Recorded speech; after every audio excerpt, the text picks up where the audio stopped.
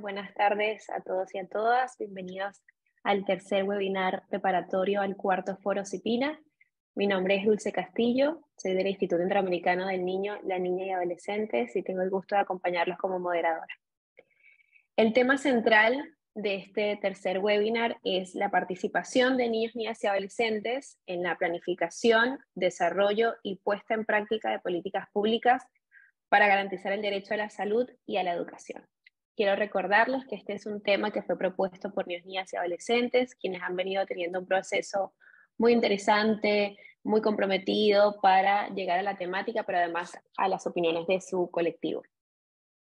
El día de hoy, eh, además de estar compartiendo con ustedes, van a estar los compañeros de El CIPINA, de Tejiendo Redes y de otras organizaciones de la sociedad civil. Está a disposición eh, la traducción simultánea en inglés y portugués. Y además de eso, quisiera compartirles que eh, para sus intervenciones eh, los invitamos a que no se extiendan a más de tres minutos, que puedan ser bastante amigables, accesibles, evitar el lenguaje técnico o académico, no usar presentaciones al PowerPoint y que también este, traten de registrarse como usuarios y presentarse al momento de tomar la palabra. Eh, dicho esto, me gustaría arrancar con la primera pregunta, sobre todo para los chicos y chicas que nos acompañan el día de hoy. Si hay programas en tu país para mejorar la salud y la educación, ¿cómo lo mejorarías? Quedo atenta a la persona que quiera tomar la palabra.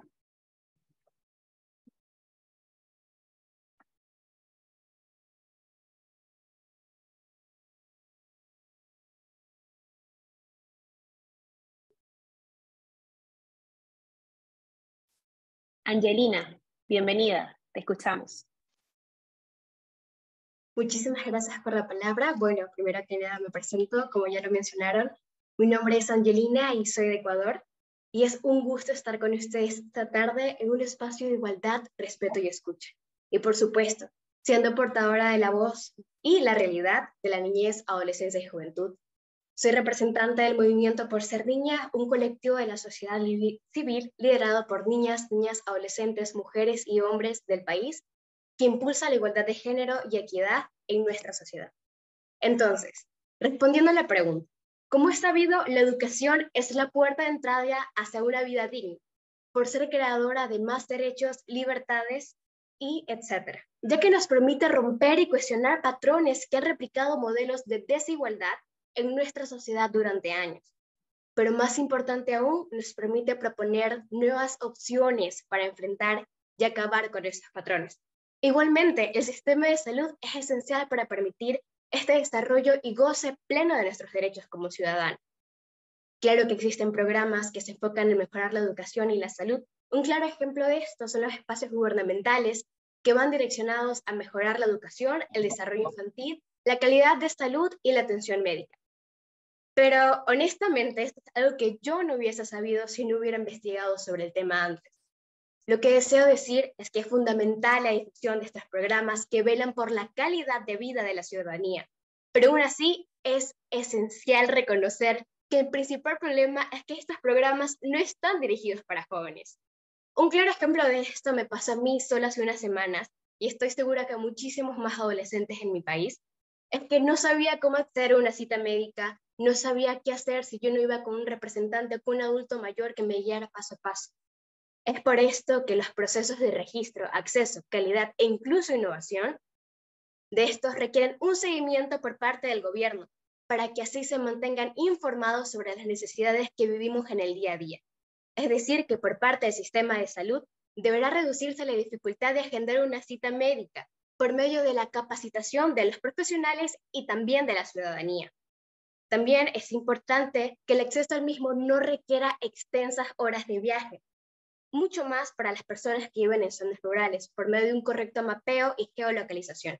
Y finalmente, que el Estado se encargue del debido repartimiento de medicinas en los centros de salud pública, y así estos servicios no tengan ninguna distinción sobre edad, nivel socioeconómico, de género y mucho menos étnico.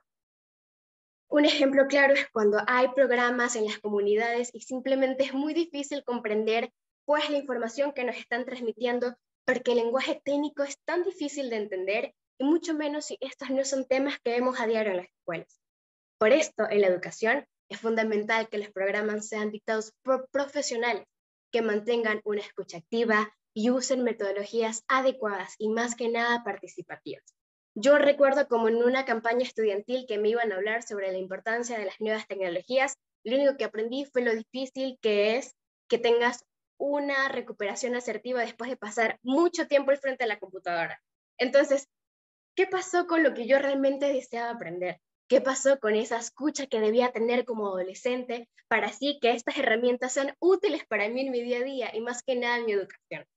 Entonces, es necesario que a la hora de capacitar al estudiantado y al profesorado, por supuesto, la información dada sea sobre materias educativas o temas de salud mental, igualdad de género, educación integral en la sexualidad, sea aplicada con una perspectiva de género que no refuerce estereotipos, que los ejemplos no sean sobre mantener a la mujer reforzada en aquellas castillas de que solo trabaja en la casa, si estás aquí es porque tu esposa está en tu casa. Entonces, ¿qué está pasando?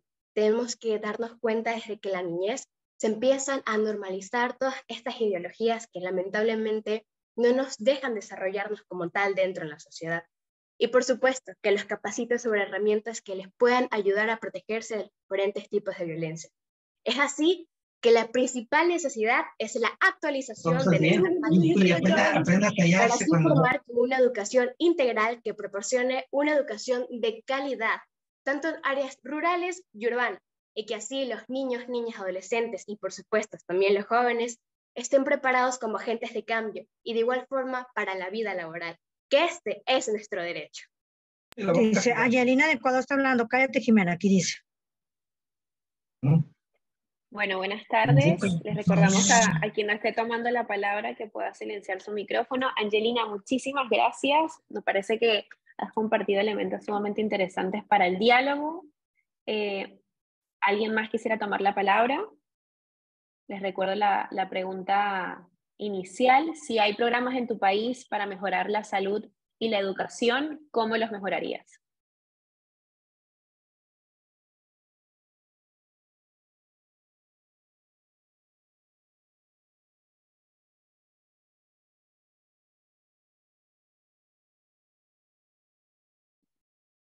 Ximena, adelante.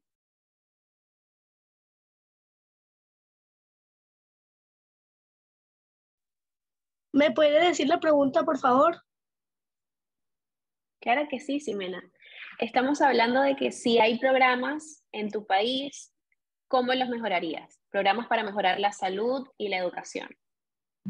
Pues bueno, aquí en México y bueno, en mi estado de Nuevo León, hay demasiados programas como lo son campañas, brigadas, que pues las imparte el gobierno. Y bueno, para los niños y adolescentes también hay muchos, como lo que es el programa de disciplina y diferentes pues actividades en las que podemos participar. Y en la salud y la educación, pues tampoco se queda atrás y también hay muchos. Me ha tocado estar en eventos en los que también estoy participando. Y pues, ¿cómo los mejoraría? Llamando la atención de más niños y niñas para que pues les puede interesar un poco más eh, referencia a las redes sociales, que es lo que está ahorita mucho en la adolescencia, a los niños, por ejemplo, los TikToks o alguna caricatura que les pueda llamar la atención, pues para que se interesen más y les interese participar. Ximena, muchísimas gracias. Muy interesante eso que nos planteas de las redes sociales y su uso para difundir más los programas. ¿Alguien quisiera tomar la palabra?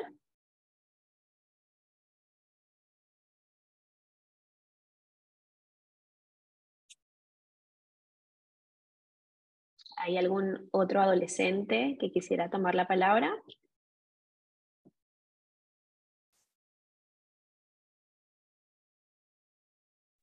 Dulce, eh, si le puedes ceder la palabra a Dulce, tu tocaya. Dulce, ¿estás por ahí? ¿Nos escuchas? Creo que, creo que tuvo problemas de internet y Diana también. Perfecto, Dulce. Mientras mi tocaya se conecta, ¿hay algún otro adolescente que quisiera eh, tomar la palabra, decir algo, responder a la primera pregunta que tiene que ver con si hay programas en tu país para mejorar la salud y la educación, ¿cómo los mejoraría?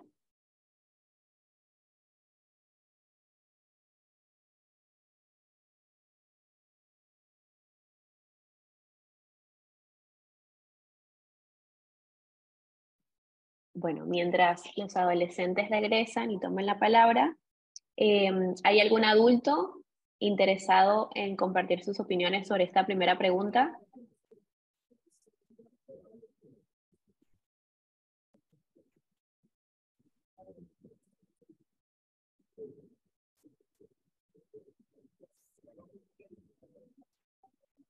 Paula, adelante. Sí me escucho, ¿verdad? ¿Qué tal? Buenas tardes a todos. Gracias a la participación de Angelina y de Jimena. Eh, bueno, yo soy Paula, trabajo en el CIPINA del Estado de Nuevo León y como lo mencionaba Jimena, eh, existen eh, programas en, en, el país y en el Estado. precisamente aquí en Nuevo León tenemos Cuidar tu Salud, que eh, pues es un programa que brinda atención médica a niños, niñas y adolescentes desde los 0 hasta antes de los 18 años de manera gratuita y su inscripción es gratuita. Y este, para los adolescentes también en cuanto a mm, enfermedades de transmisión sexual y métodos anticonceptivos, pues se pueden acercar a los servicios de salud amigables con los que cuenta Secretaría de Salud pero sí quisiera hacer mención, el, el punto que tocó Jimena es importante, ¿no? Em, esta difusión en cuanto al acceso a los servicios de salud, creo que este, pues es una, una propuesta porque aun y cuando existen, no todos los niños, eh, niñas y adolescentes saben que están, entonces eh, el acceso a ellos es lo que, en lo que tendríamos que poner énfasis. Gracias. Muchas gracias, Paula. ¿Alguien más quisiera tomar la palabra? ¿Algún adulto? Y me dicen por acá que ya mi tocaya se conectó. Dulce, ¿nos escuchas?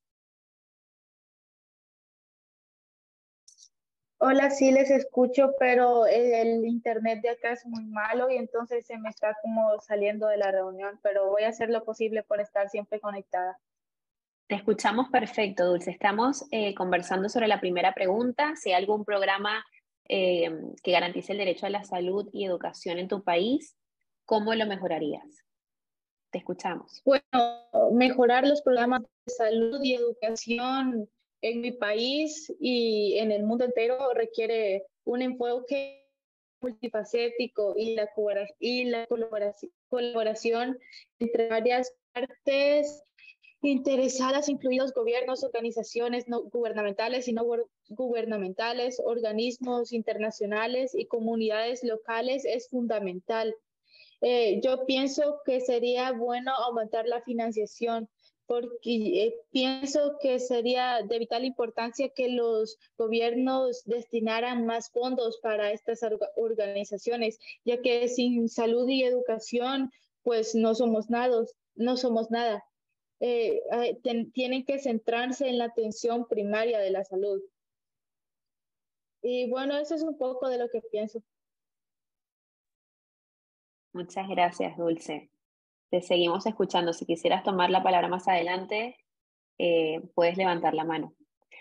¿Alguien más quisiera retomar eh, el diálogo sobre esta primera pregunta, sobre todo esto que nos, nos vienen compartiendo Angelina, eh, Ximena y Dulce, adolescentes que representan a los colectivos que vienen desde hace varias semanas preparando sus, sus temáticas, las temáticas preparatorias al cuarto foro? Emanuel, te escuchamos, adelante. Eh, ¿me escuchan? Eh, bueno. Perfecto. Em, sí, en mi país, por ejemplo, sí hay programas que ayudan para la salud y la educación y bueno, una forma de yo mejorar sería como, eh, como dijo Jimena, poder invitar a jóvenes a través del internet, allá las plataformas de comunicación como Instagram, TikTok, y, ir fomentando eso para que pueda llamar la atención de más jóvenes y así puedan interesarse más. Por ejemplo, en una, un ejemplo, en el hospital más grande que sería de, la ciudad donde yo estoy, en, hay un espacio llamado Ñangareco, que es un espacio de psicología en donde, bueno, a través de una entrevista que yo le hice al director general del hospital, dijo que no hay mucha visita, entonces una forma de llamar la atención de los jóvenes para que puedan asistir a ese espacio, bueno, a través del internet. Y eso sería una forma de yo poder mejorar. Muchas gracias, Emanuel. Muy interesante lo que nos compartes de la socialización entre, entre, los, entre los propios adolescentes. Me gustaría darle la palabra ahora a Diana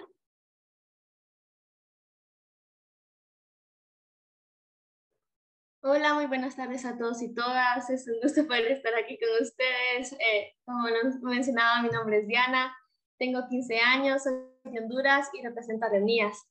Eh, sobre la pregunta antes mencionada, en mi país hay pocos programas que ayudan a mejorar la salud y la educación y los pocos que hay no ejercen su labor ni tienen el presupuesto suficiente para brindar una excelente atención. Existen programas, pero son muy limitados para las personas que viven en grandes ciudades y no digamos en las zonas rurales, que estas están muy marginadas, limitando de muchas oportunidades a todos estos niños, niñas y adolescentes. Debe de haber una reorganización, una mayor capacitación y que se cuente con el equipo necesario en ambos temas, incluyendo la reestructuración de los programas, más inversión y exista un personal suficientemente capacitado para la ampliación de los mismos. Como adolescente, para mejorar todos estos programas, organizaría campañas o eventos para sensibilizar a las personas sobre la importancia de una buena atención en el área de la salud y una educación de calidad para los niños, niñas y adolescentes, haciendo conciencia, especialmente a las instituciones y a los estados gubernamentales, sobre las, sobre las problemáticas y el, poco, y el poco presupuesto que contamos en estas áreas invitar a los dirigentes de las diversas instituciones, tanto gubernamentales como no gubernamentales, para que vayan a ver con sus propios ojos la problemática de la salud y la educación que hay en el país, desde la aldea más remota hasta la ciudad más grande. Además, que se implementen programas para mejorar la infraestructura, tanto de centros educativos y, hospitales y centros de salud, y que cuenten con un presupuesto suficiente para abastecer todas las necesidades, que siempre cuenten con medicamentos para los pacientes en los centros públicos y que el personal docente se beneficie con un material de apoyo para hacer de las clases más interactivas y que la educación sea mucho mejor, que permitan que los niños, niñas y adolescentes se involucren en los diferentes foros y reuniones sobre políticas públicas que se dan para mejorar la educación y la salud y que contemos con una participación activa porque son decisiones que nos afectan directamente a nosotros y que no se vaya solo en palabras o por, o por decir como decimos por salir del paso y que estemos presentes en el proceso y que se vean acciones concretas y planes estratégicos para empezar a resolver esta situación. Y lo que nosotros expresamos no se quede en el aire, porque estamos alzando nuestra voz, porque como niños, niñas y adolescentes estamos preocupados por el poco interés de las sociedades pues no hay muchos programas que funcionen o que estén destinados a estos temas. Asimismo, las injusticias que presenciamos en la sociedad actual, porque y queremos un cambio, un cambio para bien, porque como jóvenes que somos el presente y el futuro de nuestros países, queremos tener una mañana mejor y comprometedora, que contemos con muchas oportunidades para salir adelante, un futuro donde estemos saludables. Muchas gracias. Muchísimas gracias, Diana. Creo que nos has compartido propuestas muy interesantes y además un planteo de nuestras realidades. Te agradezco. ¿Hay algún otro adolescente que quisiera tomar la palabra? Por acá veo eh, que levantó la mano recién Simena. Vamos contigo, Dulce. Ah, ah, perdón, vamos con Simena y después vamos con Dulce. Adelante, Simena. Bueno, eh, estábamos diciendo que cómo los podíamos mejorar los programas, ¿verdad? De la educación y la salud. Pues bueno, eh, siento también y pienso que se podría, pues, informando a la ciudadanía tanto a niños como adolescentes, tanto también como a los adultos, de qué programas se van a realizar, en dónde va a ser, ya sea por las redes o pues por alguna cita que tengamos, pues algún programa y avisar a la ciudadanía para que pueda acudir, como lo puede ser la vacunación o ese tipo de cosas que se hacen, ese tipo de eventos, pues avisando de diferentes maneras a la ciudadanía. Como los anuncios que han estado saliendo aquí en Nuevo León, que son de cuando fue lo de Nuevolandia, que hubo muchas cosas para los niños, pues lo que podría haber sido el derecho de la, del esparcimiento, hubo unos anuncios y pues fueron muchos niños. A mí me tocó participar con el programa de participación ciudadana y fue algo muy padre porque pues era de la educación y estuvo muy chido porque fue en juegos, entonces a muchos niños les interesó, estuvo muy padre. Entonces siento que también de manera en redes pues se podrá avisar a diferentes niños, niñas y adolescentes. Muchas gracias, Ximena. Me parece que es muy interesante y que coinciden muchas las intervenciones de ustedes de cómo presentar esa información, cómo sea más amigable y cómo difundirla a través de las redes sociales o, a través de otros recursos. Eh, Dulce, ¿estás por ahí? Eh, hola, sí, yo soy de, represento a Mías y soy de Honduras. Bueno, yo pienso que sería muy importante hacer estos programas más llamativos, pero de la buena forma, dando el ejemplo. Primero hay que supervisar los programas, verificar que se hagan las cosas correctas y enseñarle a la población que estos programas sirven y nos están ayudando, que, que ya no es como los de siempre. Hay programas, pero ¿de qué nos sirve si no están bien supervisados y hacen a lo que les dé a, su antojo? Eh, pienso que sería muy importante eh, fomentar la participación de la comunidad y los programas, que los entes eh, que ayuda, los entes o programas estén de la mano con la comunidad, porque los que de verdad sienten la necesidad y saben qué es lo que quieren es el pueblo. Y eh, Francisco Morazán decía, em, la educación es el alma de los pueblos. Y yo cuando escucho eso me siento identificada, porque de qué nos sirve, eh, digamos, arreglamos el problema de la salud, pero no tenemos buena educación, los entes que ayudan a la educación están mal. Bueno, desde el 1900, desde los 1900 eh, la educación sigue siendo cuaderno, lápiz, profesor, pizarra enfrente. Los carros han cambiado, los teléfonos han cambiado, pero la educación, la educación siempre está el maestro explicando enfrente, el alumno eh, sentado, lápiz a mano, poniendo atención pero ¿por qué esto no puede tener un cambio, un cambio drástico como si como lo tuvieron los, los carros? Que de un carro que, que jalado a caballos pasaron a ver Ferraris. Bueno, esto es algo que a uno lo pone pensando y lo pone como loco.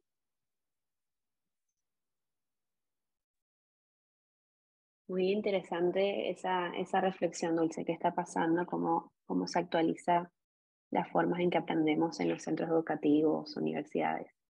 Eh, ¿Alguien más quisiera tomar la palabra? ¿Algún adolescente quisiera sumarse a este diálogo sobre la primera pregunta? Si hay programas en tu país para mejorar la salud y la educación, ¿cómo los mejorarías?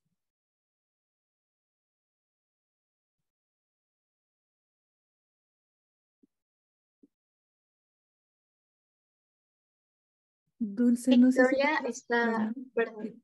Sí, perdón, Victoria, Angelina y Jurbi, ¿tienen la mano levantada? Perfecto, entonces vamos con eh, Vitória. Adelante, Vitória. Oi, gente, boa tarde. Eu não vou poder abrir minha câmera momentaneamente porque tá, tá acontecendo algumas coisas aqui em casa e tem muita gente andando, então não tem como eu estar com a câmera ligada mas eu vou falar aqui para vocês sobre um programa que é a Lei da Aprendizagem, que é uma forma de colocar o jovem, o adolescente no ambiente de trabalho, mas não de uma forma que ele só trabalhe, de uma forma que ele consiga é, articular escola e trabalho. Essa lei ela foi criada em 2000, no ano de 2000, como forma de erradicar a evasão escolar, o trabalho infantil e qualquer outra forma que façam adolescentes quererem deixar de estudar para trabalhar ou conseguir algum tipo de renda. É... Quando a gente sugere assim, ah, um jovem, um adolescente, ele tem que trabalhar, não é que ele tem que ficar é, com o seu tempo inteiro na escola, mas essa lei, ela agrega que se o estudante estiver frequentando o ambiente de trabalho, ele tem que estar frequentando o ambiente escolar também, pois não é permitido você trabalhar como menor aprendiz e como jovem aprendiz se você não estiver matriculado num, numa instituição educacional aqui no Brasil. Fora dizer também que dentro desse programa de aprendizagem, é, nos cinco dias úteis da semana, você não pode trabalhar no seu horário escolar, você tem que trabalhar no horário oposto ao seu horário escolar. E se o seu boletim, a sua nota, a sua dedicação à escola não estiver sendo acima da média, você corre o risco de ser afastado do programa da aprendizagem, porque foi criado como forma de combater qualquer tipo de evasão escolar, combater qualquer tipo que tire a criança do conhecimento escolar, do conhecimento intelectual aqui no Brasil. Então, a lei da aprendizagem ela foi criada para isso, para estar tá protegendo nossas crianças e adolescentes, no caso nós, crianças e adolescentes, de qualquer tipo de evasão, para que a gente não possa estar tá inseridos no mundo da criminalidade, ou até mesmo só por abandonar a escola, porque a gente não vai ter uma opção, é, as opções de entre estudar ou trabalhar, mas a opção de você poder trabalhar e ao mesmo tempo poder estudar, porque tem uma lei te protegendo dentro, dentro do teu ambiente de trabalho, né? porque a lei da aprendizagem ela pega, pega adolescentes e jovens de 14 a 24 anos para que esses jovens, esses adolescentes possam estar executando funções administrativas, funções que não vão atrapalhar no seu desenvolvimento físico, nem psicológico, nem emocional, que não vão estar violando seus direitos. E tem junto a essa lei se junta também algumas leis trabalhistas que vão proteger esse jovem nesse ambiente de trabalho. É só isso mesmo. Muito obrigada. Muchas gracias, Victoria. Angelina, ¿te escuchamos?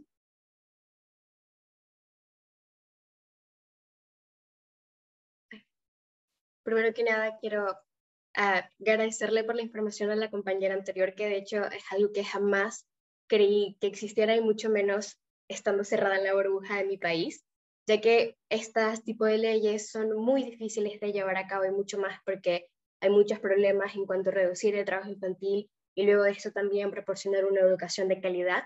Y esto me hizo pensar bastante en información que estuve investigando gracias al programa, que es el ETP, la eh, educación para todos. Entonces, esto es algo que fue dictado por la UNESCO desde que en 2015 no se veían avances en la educación en Latinoamérica y que lamentablemente sigue sin considerarse. Influye en las políticas públicas para que así desde los gobiernos de turno se empieza a considerar la educación de calidad que debe tenerse en cada comunidad, en cada país, en cada provincia, pero que como lo hemos venido mencionando junto a mis otros compañeros aquí en la sala, no es algo que se tome muy en cuenta. Entonces, realmente genera la duda de que incluso en comunidades hay mucho más acercamiento entre ellos mismos, en donde ciertos programas proporcionados por el Estado tienen mucha mejor acogida porque ellos se preocupan entre ellos mismos. Es decir, el espacio de la comunidad a ellos les proporciona una seguridad de tener esta información, pero que lamentablemente no se ve en las ciudades grandes y que luego repercute en que la información es limitada.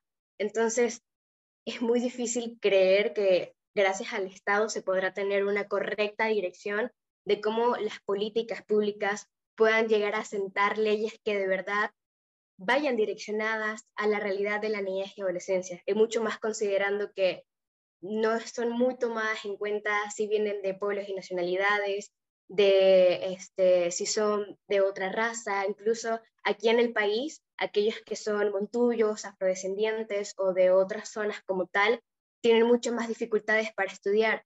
Yo en mi burbuja del privilegio me enteré que lamentablemente alrededor de en cada comunidad 16 escuelas son cerradas injustificadamente y que lamentablemente si se cierran las infraestructuras se dañan, no hay más programas que el Estado pueda, pueda hacer para que ellos vuelvan a adquirir una educación sin tener que viajar una o dos horas.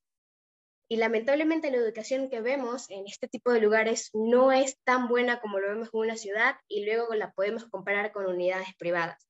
Entonces, es muy importante, yo creo que dar ese espacio no solo al gobierno, sino también presentar las oportunidades a la niñez y adolescencia para que desde las, las escuelas ellos sepan que pueden liderar y pueden formar parte de programas que puedan ayudar a erradicar el analfabetismo, que pueden aportar por medio de organizaciones que no deben ser como tal gubernamentales. Un ejemplo de esto es que en plan internacional ellos dan becas para que niños puedan estudiar, para que la niñez esté activa y puedan tener sus derechos.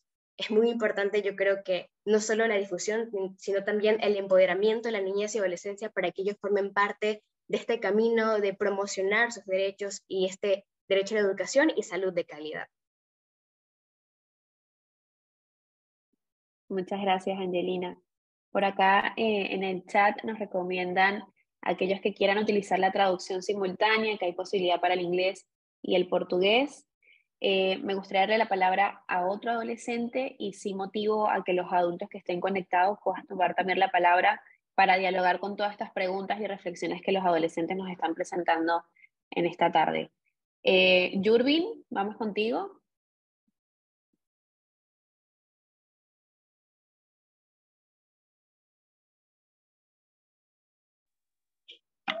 Este, buenas, este, mi nombre es Yurbin Jafet, soy de Costa Rica, tengo 16 años. Conforme al tema que han estado hablando los compañeros, pues es muy importante lo que es la educación, que es uno de los lugares donde más pasamos tiempo los niños y niñas adolescentes. La verdad, este, aquí en Costa Rica sí hay varios proyectos para para trabajar lo que es la educación y la salud. Una de las cosas que sí noto es tal vez la falta de conocimiento del pueblo para, para, estas, estos proyectos. Entonces, prácticamente que lo que podría ser mi propuesta es la colaboración de los dirigentes para fomentar estos proyectos encargados de trabajar con lo que sería la educación y la salud.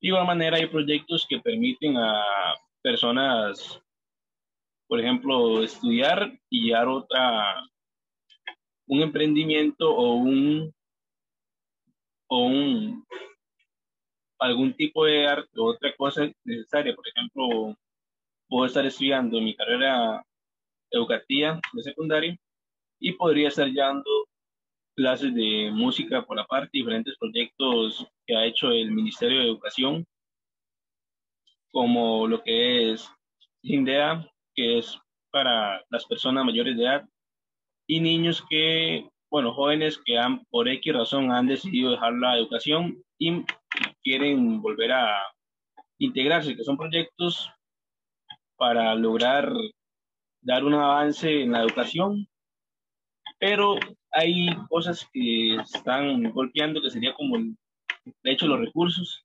Muchas veces hay personas capacitadas, tenemos lugares para hacer esto, pero también no tenemos los recursos necesarios. Nos quedamos cortos con este punto. Tal vez, como le decía la compañera antes, seguimos cuaderno, pizarra y tiza adelante a trabajar hace y a varios años otro, uno que otro docente que usa monitores para transmitir directamente a la pantalla una presentación en Word, un video, algo así, pero, o sea, yo siento que esto es algo que está muy limitado y que es una manera más amplia de trabajar lo que sería la educación. Creo que esto sería lo que tengo por el momento. Gracias. Muchas gracias, Yuri. Muy importante lo que nos estás compartiendo. ¿Hay algún adulto que quisiera tomar la palabra?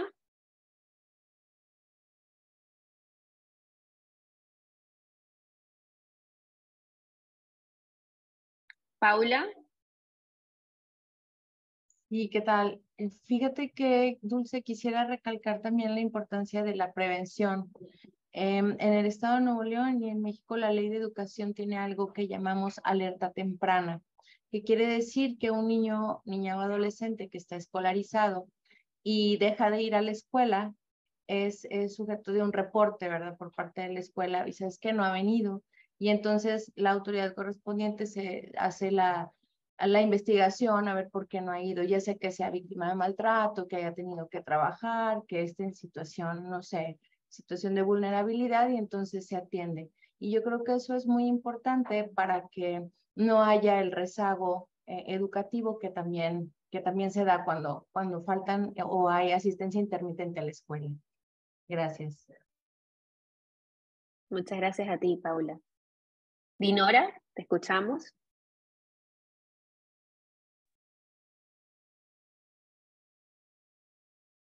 Muchísimas gracias, Dulce, por cederme la palabra. Bueno, respondiendo a esta pregunta, la respuesta es sí, sí existen leyes, existen instituciones, existen muchísimas cosas que nos pueden ayudar a mejorar nuestro derecho a la salud y a la educación. Sin embargo, yo, yo sé que existen. Y probablemente muchísimos de los que estamos aquí saben que estas instituciones y que estas leyes existen porque hemos tenido la oportunidad de investigar o incluso hemos tenido la necesidad de investigar. Pero ¿qué sucede con las otras personas que no tienen este tipo de información? Estoy completamente de acuerdo en todas las opiniones que han dado mis compañeros, en que siempre el mayor problema de cuando existe alguna institución o cuando existe alguna ley en la que podamos contar, ¿por qué no se da a conocer? Hasta como la reciente participación, este, me parece Paula, ah, no sé, acaba de mencionar que ella sabe, que ella realiza algún, algún tipo de ayuda, pero ¿por qué nos acabamos de enterar? ¿Por qué toda esta información no se da a conocer? Y me sorprende la cantidad de personas, la cantidad de niños, niñas y adolescentes que incluso estamos platicando ahorita, estamos de acuerdo en que ese es un gran problema.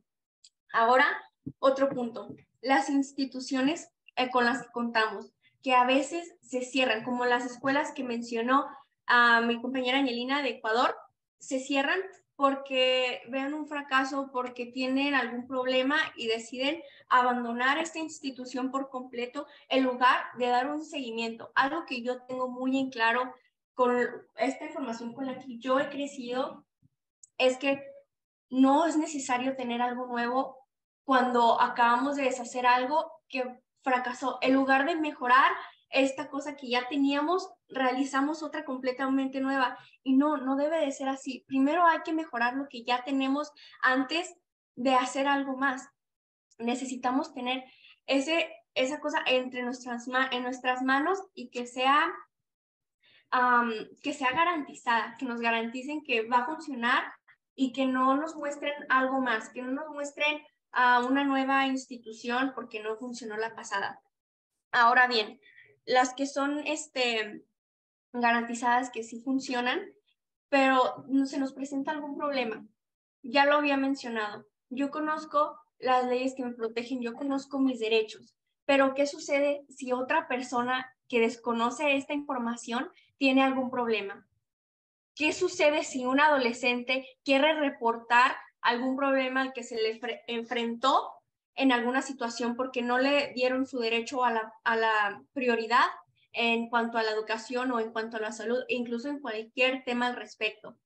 ¿Qué hace este adolescente si no sabe que una ley respalda sus derechos? ¿Qué hace un adolescente si ni siquiera conoce esos derechos y no sabe dónde reportar las situaciones a las que éste se está enfrentando? Entonces, bueno, yo ah, siempre protejo la idea de que se den a conocer las ideas, qué es lo que se puede realizar cuando alguien se presenta un problema, cuando alguien tiene algo que reportar para hacer mejoría de alguna institución. Porque bueno, en, este, en, este, en esta reunión se nos están preguntando cuáles son nuestras ideas, pero nosotros somos personas informadas. Nosotros somos personas que tenemos contacto directo con ustedes y que probablemente tenemos privilegios, pero ¿qué sucede con las personas que, que no las escuchan? Que no les toman tanta importancia como nosotros. ¿Qué hay de esas opiniones? Muchas gracias. Muchas gracias, Dinora. ¿Hay algún adulto eh, que quisiera tomar la palabra? Veo algunas adolescentes con, con la mano levantada.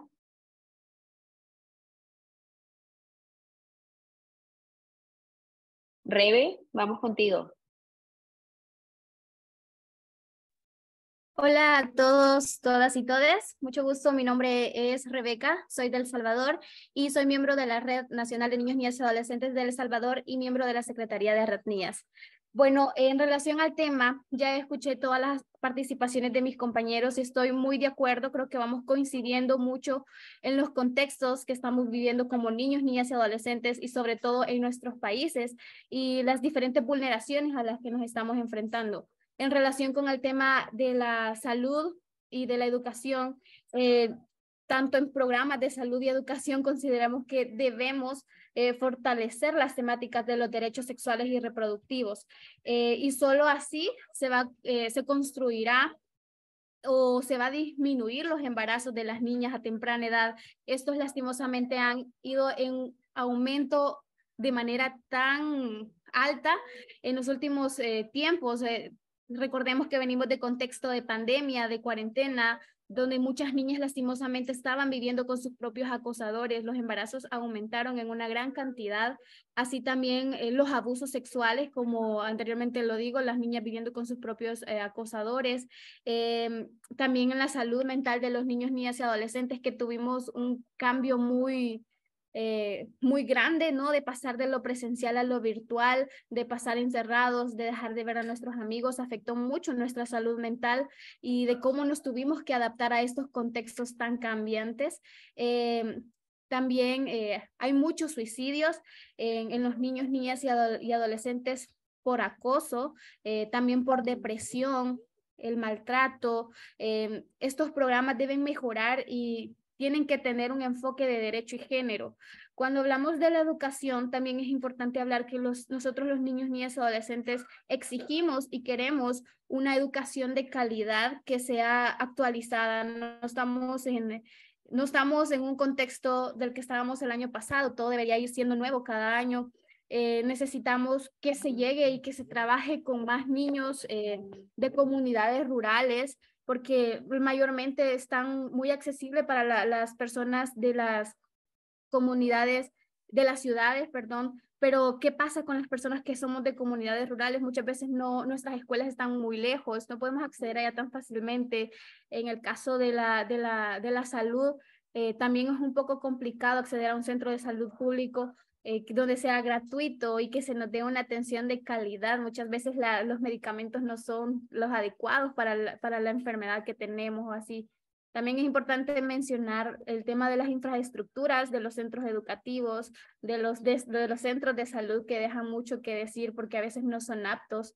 En el caso de las escuelas, em, puede ser un poco complicado para los niños eh, que, que, que tienen algún problema con discapacidad, etcétera. Entonces, eso también sería como un llamado y felicidades a los chicos y chicas por su participación. Gracias. Muchas gracias, Rebe. Comparto la pregunta, la, la, primera pregunta y con un par de intervenciones eh, vamos a pasar a la segunda. Esta tiene que ver con si conoces programas en tu país sobre el derecho a la salud y a la educación, cómo los mejorarías. Eh, me gustaría darle la palabra a Nicolás. Adelante, Nicolás.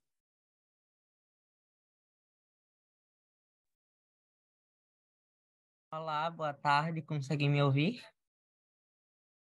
Sim, te escutamos certo. perfeito. Eu sou o Nicolas, sou um adolescente do Brasil, representante do Comitê de Participação de Adolescentes do CONANDA, e nós vivemos em tempos de desafios e oportunidades, e é nosso dever assegurar que as crianças e adolescentes sejam amparadas por um alicerce sólido de educação e saúde. Acreditamos que a educação é a chave mestra que desbloqueia o potencial de nós, seres humanos.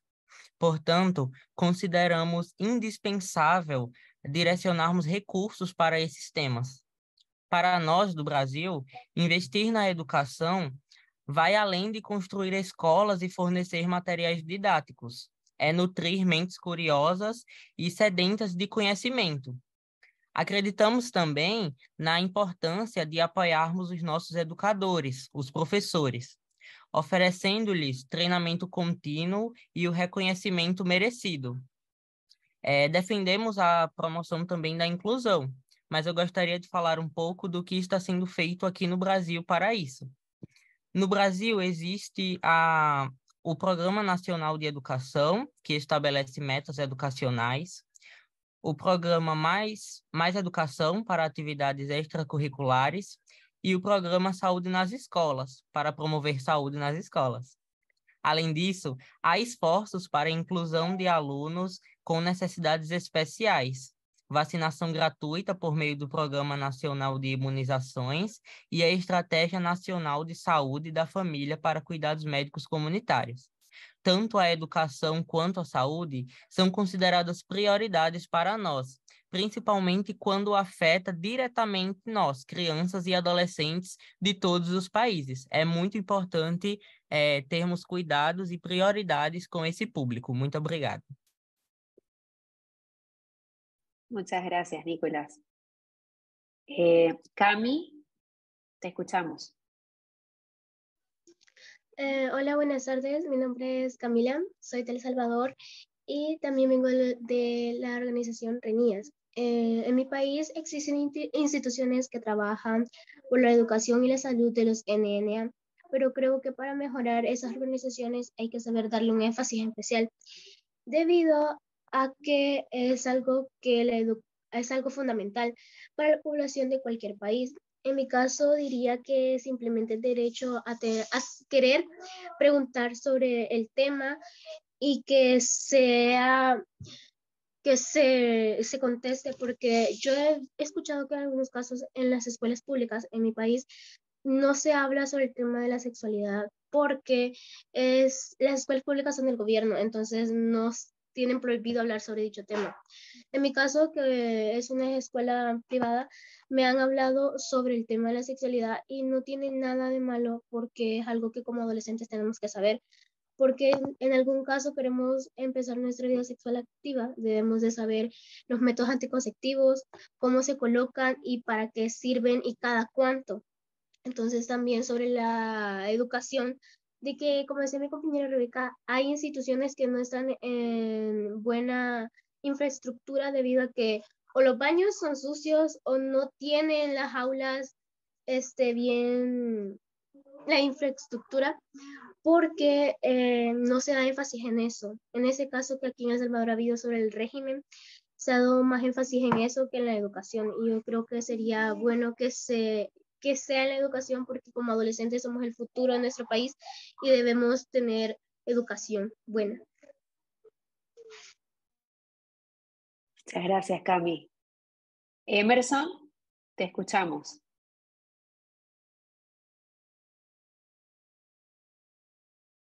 Gracias. Buenas, buenas tardes. Eh, mi, nombre es, mi nombre es Emerson. Un gusto saludarlos a todos, todas y todes. Y bueno, eso, yo soy de Bolivia, vengo de la red, eh, la red Nuestra Voz Cuenta. Y bueno, yo les comento de aquí de Bolivia de que existe política de salud y de, y de educación. Entre ellas, entre educación, tenemos la actualización de la malla curricular, eh, que ha sido favorable para la población en general, pero en sí tiene muchas falencias en la que es las políticas educativas con respecto a lo que son las primeras infancias y también la educación primaria, eh, ya que se habla sobre una educación eh, que puede ser intersectorial en varios sectores y culturalmente, eh, ya que Bolivia tiene a su disposición varias culturas que están reconocidas por la nueva constitución política del Estado. Y es una constitución que, o sea, protege y también eh, tiene mucho contenido de, derecho constitucional y, además de muchos derechos que está avalado por esta constitución creada en 2009. Eh, y bueno, entre ellos menciona así el derecho a la educación. Y también recuerdo que Bolivia y, pienso que los demás países que estamos aquí presentes representando, eh, firmó también y ratificó también los compromisos que se llevó a cabo en una de las sesiones de Naciones Unidas y bueno, también eso del, derecho a la educación es importante. Y bueno, además de que las políticas educativas que se va llevando en Bolivia ha sido, como mencioné, la actualización de la malla curricular, que en esta ocasión ha sido muy distinta a la anterior, me estoy refiriendo a eso de los años 2019. Y lo nuevo que puedo destacar que ha sido la implementación de educación integral en sexualidad y también la educación ambiental. Ya han sido dos factores que actualmente el gobierno nacional de Bolivia puso a disposición dentro de la malla curricular y pues está como un decreto supremo ya a nivel nacional para que eh, las instancias educativas, como sea la Dirección Digital de Educación, la Dirección Departamental y Nacional, puedan dar cumplimiento a todos los establecimientos educativos para el cumplimiento de la malla curricular. Esa es una política que se está llevando a cabo. Y bueno, de parte de salud, actualmente se cuenta con el Sistema Único de Salud, que es el SUS. Y bueno, eh, es un sistema que a los bolivianos nos ayuda, sí, a tener una salud de manera integral y gratuita y oportuna.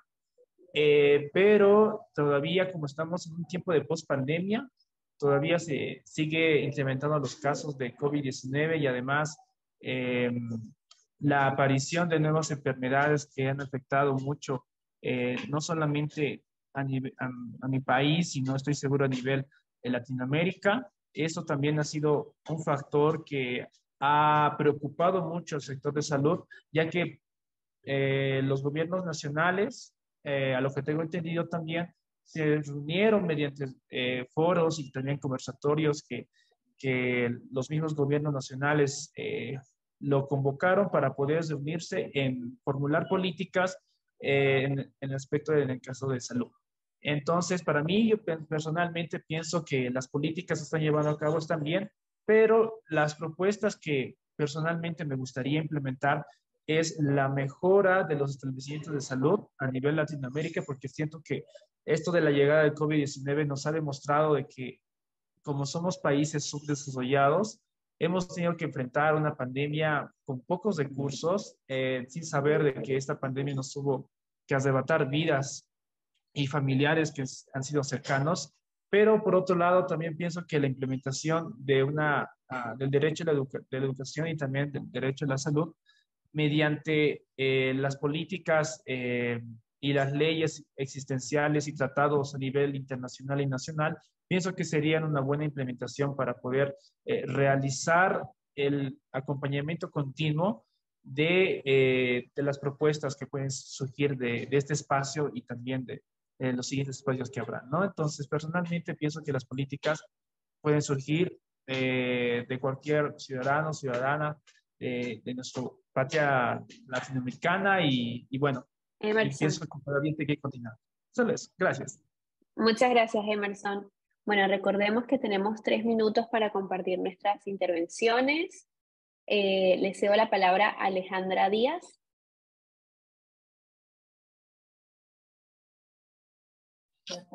Hola, buenas tardes. Yo soy María Alejandra Ramírez Díaz, yo soy adolescente de Brasil, eh, representante del Comité de Participación de Adolescentes dentro de CONANDA y la red Surca. Voy a hacer mi autodescripción. Yo soy una mujer negra, yo tengo un metro y cincuenta y cinco de altura, utilizo lentes y mi cabello es corto y liso encaracolado. Bueno, sobre la tratación de la pregunta de la é, de las preguntas, disculpe, voy a leer en portugués. Em relação à pergunta sobre a educação e a, justamente o, a saúde, a saúde também a gente tem que tocar aquele tema da saúde mental. Em si, a gente tem que a gente tem que ver a diferença totalmente sobre a questão da educação e a saúde. Elas se juntam brevemente. Eu vou tocar o tema como sou imigrante, estou no Brasil, e também a gente tem que ver a diferença como tem um imigrante e tem um brasileiro. Mesmo assim, toda a questão da educação tem sido uma dificuldade de saúde mental e também sobre a questão da saúde. E sobre a saúde. E o tema que eu queria tratar justamente es por la dificultad que cada adolescente y crianza tiene por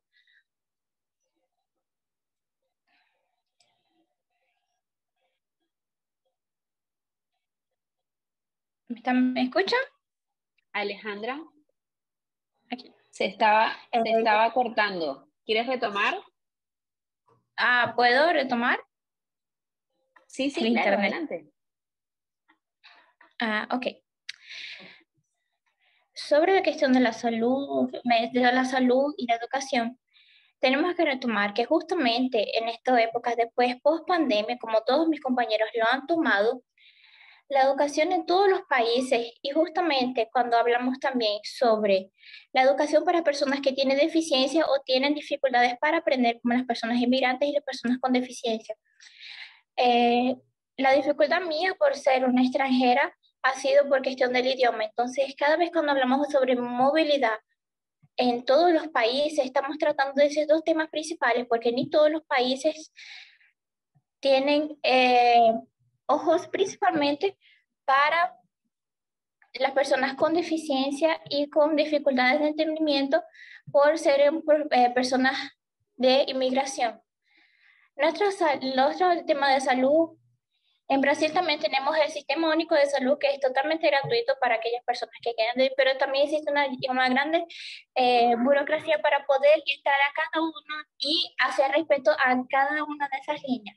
El tema de educación también, por causa de esas dificultades que un adolescente, tanto negro, indígena, eh, inmigrante o que tenga deficiencia, tienen dificultades para poder accesar a esos temas gratuitamente, porque ellos tienen todavía el preconceito sobre la... Eh, tienen totalmente preconceito. ¿Y cómo voy a complementar a, a mi compañero Nicolás? Brasil también tiene muchas entidades que nos ayudan principalmente, pero también tenemos que mejorar y tendría que mejorar más principalmente la cuestión de la divulgación. Existe, existen proyectos, existen, pero también tenemos que mejorar el tema de la divulgación, así como otros compañeros tomaron, que hay que divulgar precisamente una de forma más didáctica. Ahí tomamos el tema por no eh, hablar entre, entre líneas. Tenemos eh, la facilidad de no, eh, la facilidad para que las palabras que muchas personas utilizan para, eh, para separarnos de, de, nuestro momento de participación para que no entendamos, eh, tenían que ser muy vistas también, porque así ese tema de divulgación tiene que ser una forma que todo el mundo pueda entender en los ciertos idiomas y principalmente en la idioma de Libras en los idiomas que ni todo el mundo habla, que como español, inglés y portugués, para que exista una, una, una igualdad social. Muchas gracias. Era eso. Muchísimas gracias, Alejandra. Jorge Guevara y después de Jorge vamos con la segunda pregunta. Te escuchamos, Jorge. Hola, mi nombre es Jorge Daniel, tengo 11 años, soy de México, Nuevo León y a mí algo que me gustaría mejorar en estos programas sería el aumentar el alcance y calidad de vida en todos los programas sociales. Y también me gustaría que llegaran a mejor y a más gente. Muchas gracias. Muchas gracias, Jorge. Y justo eh, para cerrar esta ronda de, de la primera pregunta, Simena, ¿nos escuchas?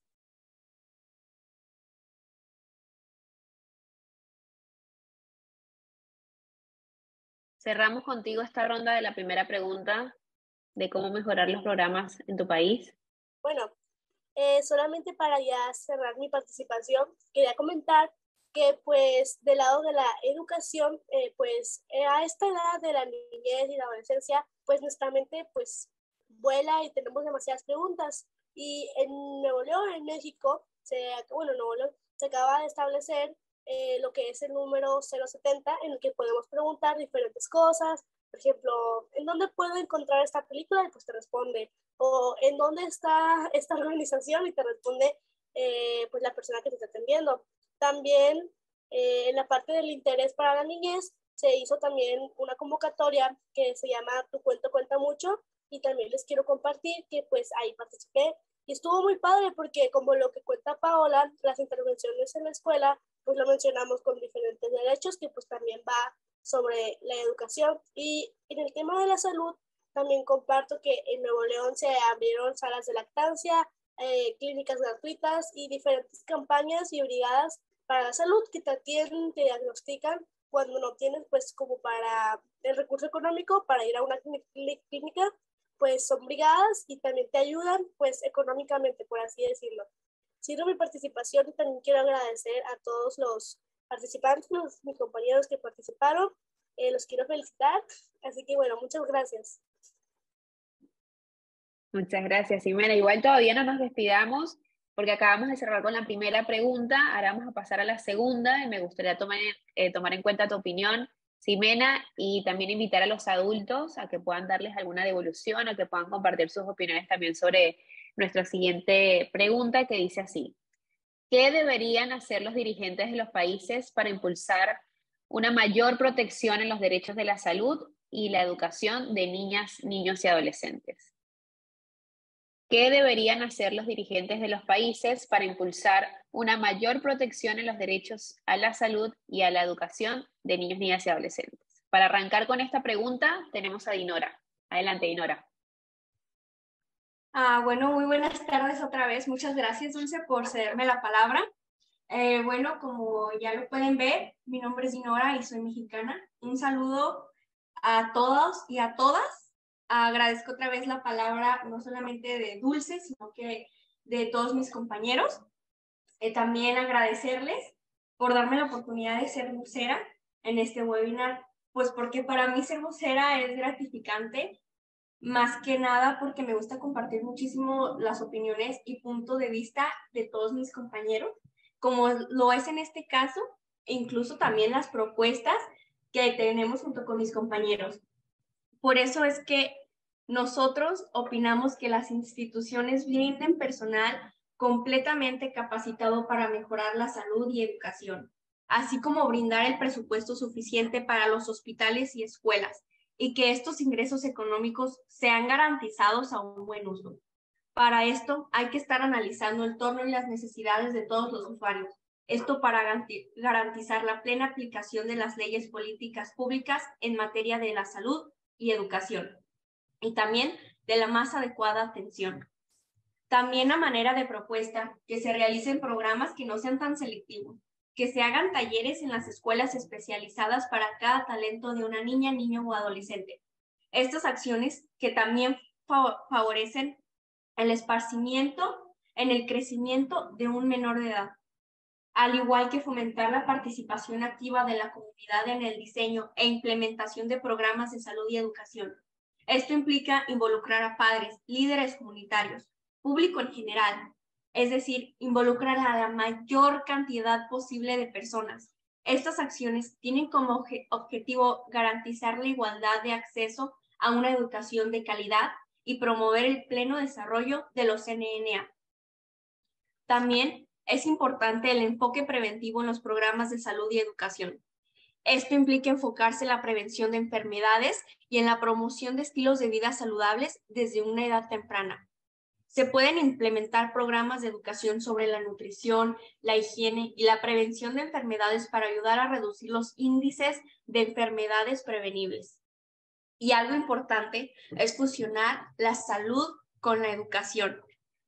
Y es decir, promover la educación de la salud, para que podamos tomar decisiones y acciones propias sobre nuestra salud, como por ejemplo la educación sexual y clases sumamente especializadas para aprender de primeros auxilios en las escuelas de todos los niveles a partir de jardín de niños. Como último, pero no menos importante, que las autoridades den promoción a los espacios de salud y educación con la comunidad. Mis compañeros y yo estaríamos encantados de que nuestras opiniones sean de provecho y que beneficien y mejoren la calidad de vida de nuestros compañeros NNA. Todas estas opiniones se hicieron junto con mis compañeros mediante, mediante juntas preparatorias para este webinar. Muchísimas gracias y les deseo a todos un buen día. Este, quedo a sus órdenes. Muchas gracias, Dinora. Yurvin, te escuchamos. Bueno, gracias otra vez por la palabra. Este, bueno, en mi opinión, los dirigentes de cada país, de los diferentes países, deben dar una gran colaboración para que para lograr fomentar la mejoría en lo que es la salud y la educación, ¿verdad? Que, bueno, ¿cómo se podría lograr esto? Yo diría que esto se lograría hacer a través de un cambio en los sistemas educativos y de salud. ¿Qué cambios podríamos hacer en el sistema educativo? Tal vez como lo mencionamos en la pregunta anterior, cambiar un poco la estrategia de educación, no estar tanto a lápiz y, y pizarra que yo creo que se ha demostrado últimamente que a veces nosotros captamos más de una manera más interpretativa un video, una imagen, a estar leyendo, hoy en día se, se, se extrae más información a través de, de lo que más, de lo que podemos ver de una manera más llamativa. Entonces, tal vez y la implementación de aparatos necesarios en los centros educativos para hacer esto y otras herramientas altamente necesarias. También en lo que serían los ámbitos médicos, yo diría que hay, bueno, hay buena atención, pero tal vez como dar más conocimiento de ciertos temas a los niños, niños, adolescentes de, del país y de toda América, tal vez tipo que en talleres, charlas, entre otras actividades para dar a conocer temas necesarios que, que los niños, niñas y adolescentes tengan el conocimiento. Y bueno, pues yo diría que igual las herramientas que ocupan ellos es de alta importancia, capacitación, y creo que es lo más requerido, una capacitación adecuada para ese tema que, que se pueden desarrollar bien en su, en su ambiente, ¿verdad? Y yo creo que, que tal vez sería algo necesario también establecer límites en los gastos innecesarios en el ámbito económico, ¿verdad? Que a veces se gastan plata en muchas cosas que no son necesarias y se ocupan en cosas que son necesarias o tal vez que no se da tanta importancia, que yo creo que sería algo muy importante de hacer, tal vez un grupo encargado de la supervisión de esto. Y bueno, yo creo que sería lo que tengo. Muchas gracias. Muchas gracias, Jurvin. Eh, retomo la pregunta, ¿qué deberían hacer los dirigentes de los países para impulsar una mayor protección en los derechos de la salud y la educación de niños, niñas y adolescentes. Y para eso tenemos a Jorge. Jorge, te escuchamos. Bueno, algo que yo creo que deberían de ser los dirigentes sería tomar en cuenta la opinión de niños, niñas y adolescentes para que así actualicen y creen más leyes que garanticen que se cumpla todo lo anterior. Muchas gracias, Jorge. Angelina, Muchas gracias por el espacio nuevamente. Contestando la pregunta, yo creo que es necesario empezar a, trabar, a trabajar perdón, desde una perspectiva intergeneracional y colaborativa con el espacio. La necesidad de contar con la voz de la niñez, adolescencia y juventud, como justo está diciendo mi compañero, es esencial para así renovar nuestros códigos de protección para que se adapten a nuestra realidad, exigiendo que el Estado cumpla su rol y que de estas reformas también sean priorizados. Un ejemplo muy claro que vimos aquí en Ecuador fue como nuestro Código de Protección Integral de la Niñez y eh, Adolescencia no tuvo mayor representación cuando se tuvo el cambio de, de, gobierno. Entonces simplemente nos dejó con una esperanza de que ahora en nuestras nuevas elecciones ellos tomen en consideración la importancia de la niñez y adolescencia. Entonces, es muy importante iniciar desde la primera infancia, surgiendo así la necesidad de mejorar el diseño e implementación de los programas de educación inicial, también nos lo comentaba antes nuestra compañera Paola, si no me equivoco, de que sí existen programas que se preocupan porque la niñez ingresa al sistema educativo, que no exista una, una gran tasa de recepción escolar, pero esto lamentablemente no es muy difundido o muy compartido. Entonces, para contribuir que así a que la niñez y adolescencia en riesgo no sea excluida de esta formación temprana y también puedan aprender sobre las ramas esenciales como la lectura, la matemática y la escritura, con metodologías adecuadas para su edad, también así promoviendo el desarrollo personal de la niñez.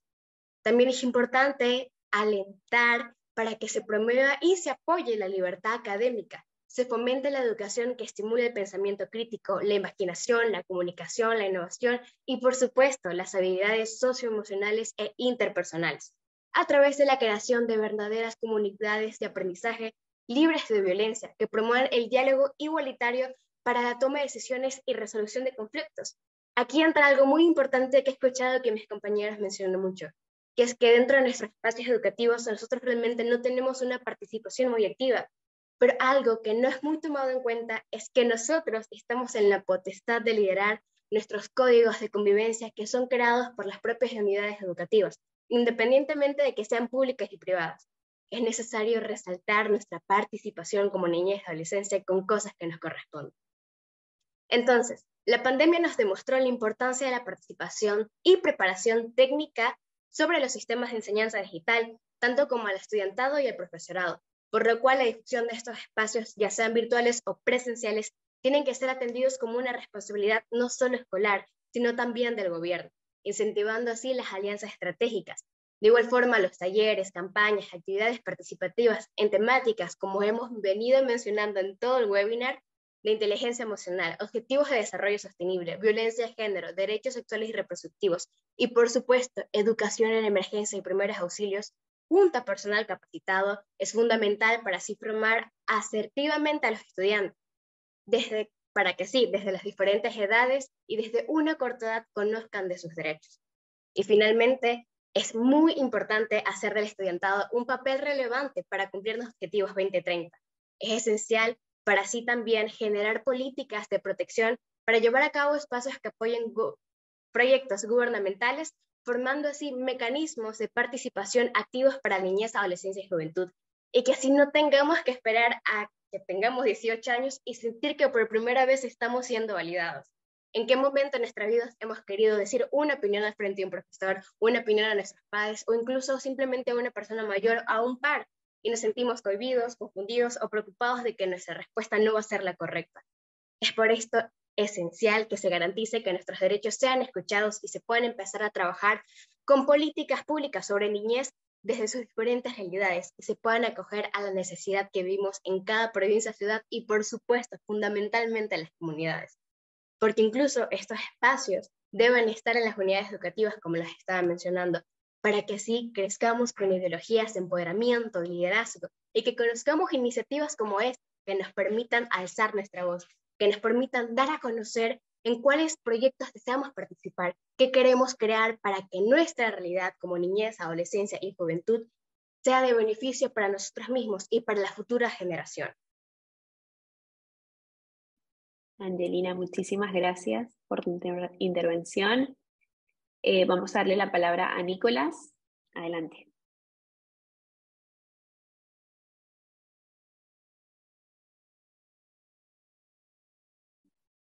Nicolás, ¿nos escuchas? Olá, boa tarde, desculpa. É, para melhorar os direitos da educação e saúde de crianças e adolescentes no Brasil, o governo pode investir mais recursos na educação incluindo formação para professores e educação integral. Além disso, deve fortalecer o sistema de saúde público, expandindo o acesso a serviços médicos de qualidade, prestando atenção especial à saúde mental e promovendo a vacinação. É, é algo que nós debatemos muito aqui no Brasil, porque é algo que está ligado diretamente conosco, crianças e adolescentes do país, principalmente nesse momento no qual trocamos de um governo negacionista para um governo que apoia a educação e a saúde. Eu acho muito importante quando pontuamos aqui é, o, a divulgação do direito, como foi muito pautado nessa reunião, como está sendo muito pautado nessa reunião, mas também o acesso de nós, crianças e adolescentes, ao nosso direito, direito de educação e saúde. Muito obrigado.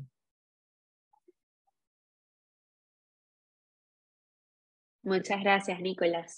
Patricia, escuchamos.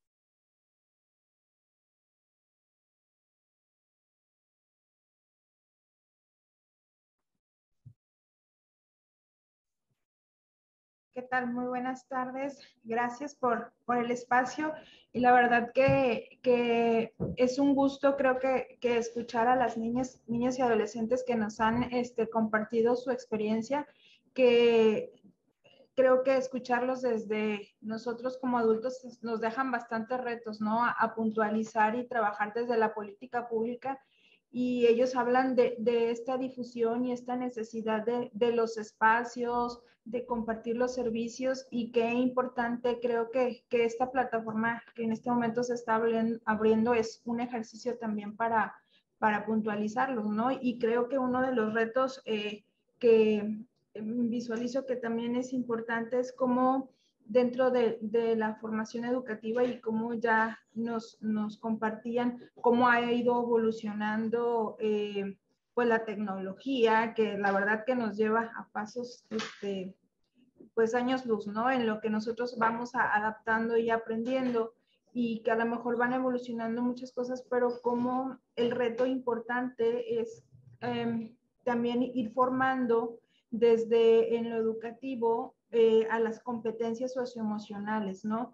Como eh, a lo mejor estos espacios sí nos hemos ido centrando mucho en, en el hacer, pero cómo vamos también, eh, mencionaba Angelico, Angelina, como estos retos de la pandemia, ¿no? También nos llevan a darnos cuenta de la importancia de trabajar en estas competencias socioemocionales que se construyen eh, en, en, las interacciones cotidianas, en los espacios cotidianos que tenemos y en esto cómo podemos desarrollar la empatía, la negociación, la regulación y todo esto de la mano no solamente en el contexto educativo, sino acompañado también de estos otros entornos que tenemos como la familia, los docentes, estas políticas públicas que estamos realizando. Entonces creo que eso eh, me, me, parecería también muy central en, en, trabajar, en integrar en esta currícula también el, trabajo de las competencias socioemocionales tan necesarias para,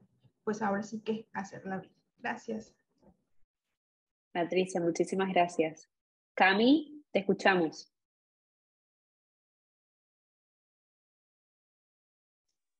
Hola, regreso, gracias por darme la palabra. Y pues con respecto a la pregunta, yo creo que lo que se debería hacer es hablar con los niños, niñas y adolescentes de comunidades, hacer campañas sobre el tema de la salud sexual y hablar sobre por qué es importante el no tener miedo y que las personas especialistas ah, hagan encuestas sobre temas para saber si las personas saben y dar capacitaciones sobre los temas que la comunidad no tiene conocimiento aún. También en las instituciones educativas hablar sobre estos temas para dar énfasis en ello debido a que tienen esto mal visto en un adolescente, cosa que está mal, porque si yo quiero aprender sobre la salud sexual y cómo cuidarme, no puedo preguntarle a mis padres ni a los docentes. Eh, mostrar los métodos anticonceptivos para, para evitar un, un embarazo a temprana edad. Eh, otra cosa, en mi país existe una ley que se llama Crecer Juntos, que dice que toda niña o adolescente embarazada tiene derecho a ser protegida de cualquier forma de discriminación. Gracias. Muchas gracias, Cami. Ximena.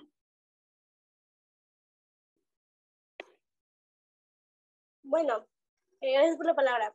Primeramente, pienso que se debería pues aumentar el presupuesto de para la, que está fomentado para la educación, para la salud, eh, pues mejorar la infraestructura de diferentes pues, clínicas y también lo que son las escuelas, como lo vienen siendo los bancos, las libretas, los libros, eh, las pizarras, los proyectores, lo que es básicamente toda la escuela, pues porque estamos hablando de que ahí estudiamos y pues cuando vamos a una clínica mm, a veces no es, tiene los medicamentos necesarios o lo que ocupamos pues para nuestra mejoría temprana. Y siento que sí sería pues aumentar el presupuesto de lo que viene siendo la educación y la salud.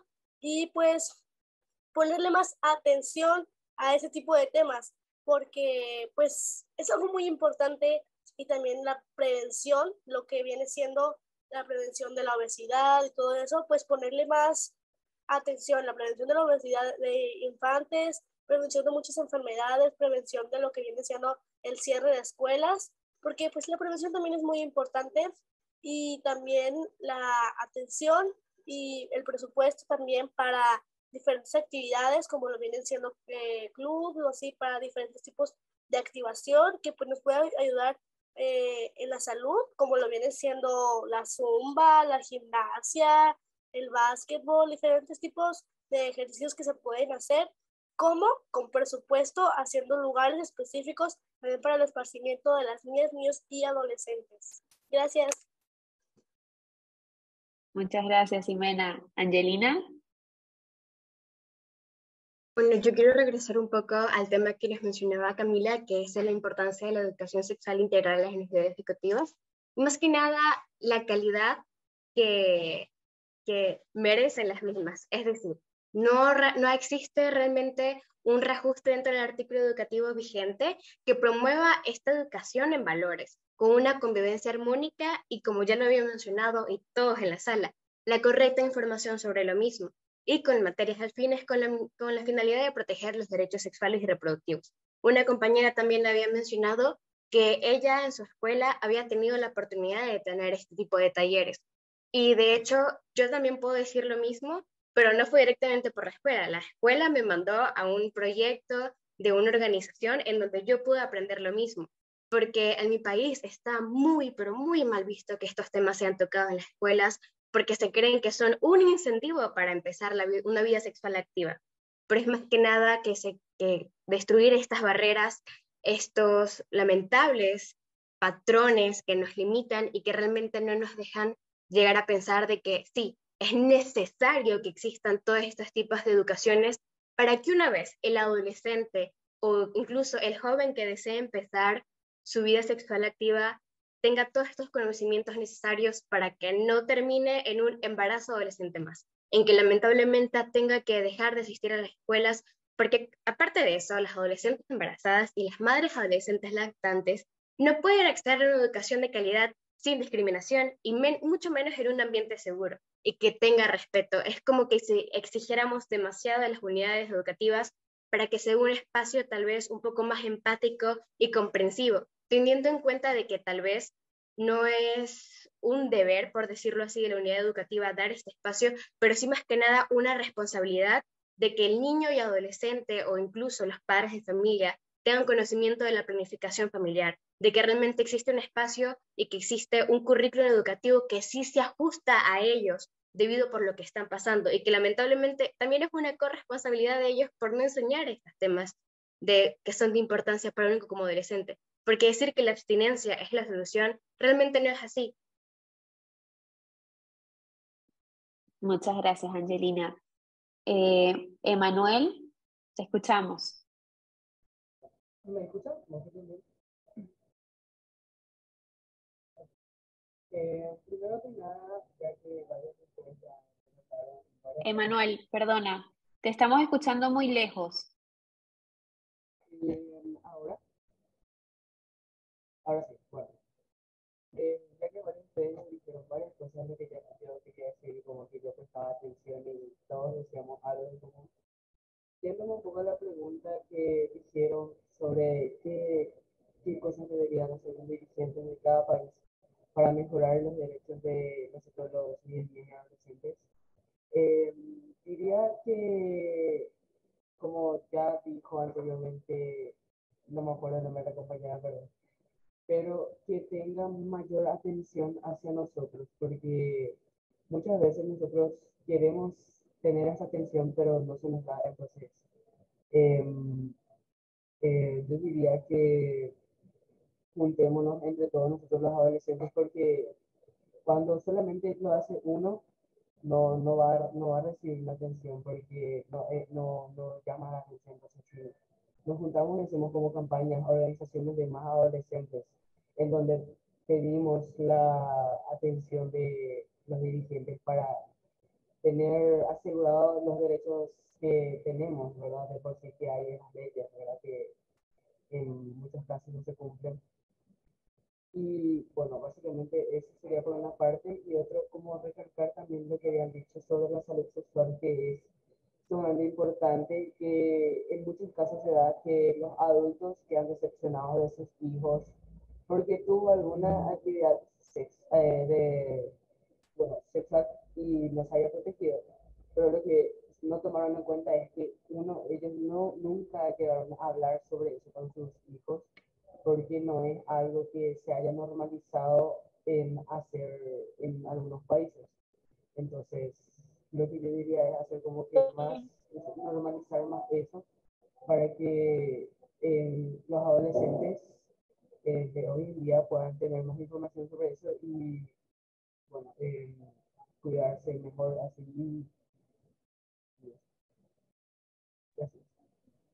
Muchas gracias a ti, Emanuel. Bueno, y muchas gracias a todos los adolescentes que nos acompañaron el día de hoy, compartiendo las opiniones, el trabajo realizado en muchas reuniones preparatorias junto con el equipo del CIPINA. Muchas gracias al CIPINA también por este espacio de diálogo. Muchas gracias a los adultos que pudieron compartir su evolución, su preocupación. Esperamos que cada uno de nosotros como garantes podamos traducir en acciones concretas las múltiples propuestas que hoy adolescentes de todas las Américas nos compartieron agradecer este espacio y antes de cerrar con, con este tercer webinar, desde el equipo de Disciplina quieren presentar un video y recordar a todos los niños, niñas, adolescentes y jóvenes a completar el siguiente formulario. Muchas gracias. Feliz tarde.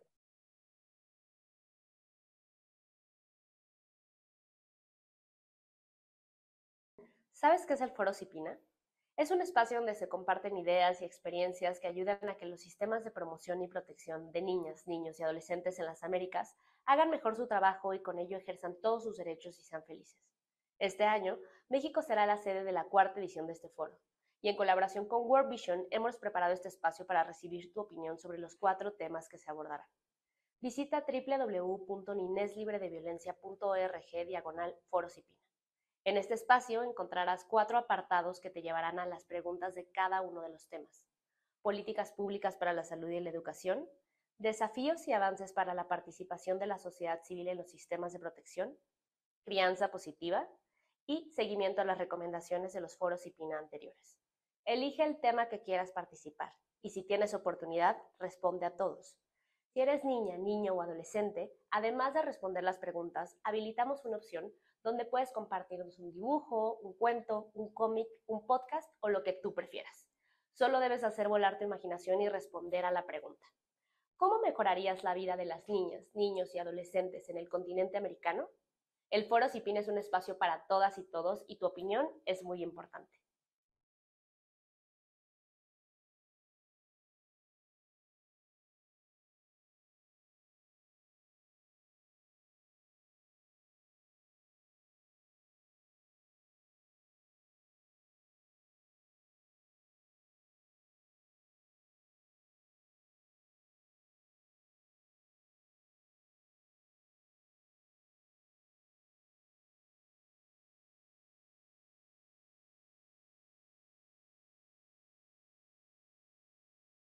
Miguel, no te escuchamos.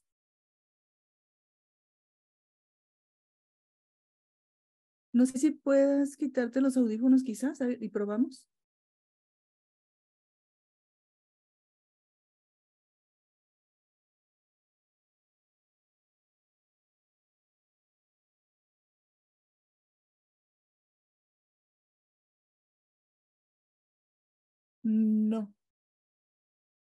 No te escuchamos aún.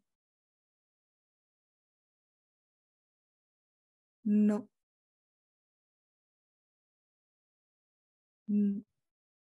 No, no te escuchamos. ¿Quieres salir y entrar de nuevo?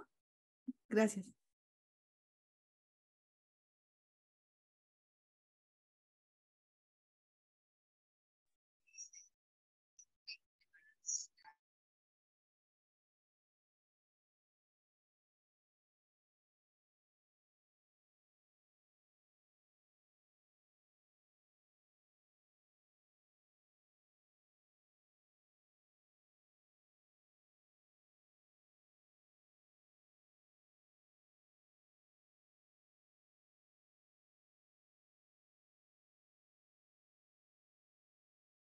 Ahora sí, ¿logran escucharme? Gracias, Miguel, ya te escuchamos. Genial, gracias, Vero. Sí, problemas logísticos. Buenas tardes a todas y todos. Gracias eh, a todo el equipo por continuar en esta segunda parte de nuestro webinar. El día de hoy estamos en el tercer webinar para hacer recuerdo eh, a todas y todos quienes están acompañándonos en esta transmisión en vivo, también por redes sociales. Eh, yo soy Miguel Becerra, parte del equipo del Movimiento Mundial por la Infancia en América Latina y el Caribe. Y el día de hoy voy a estar acompañándoles en esta facilitación para poder lograr avanzar en este tercer webinar.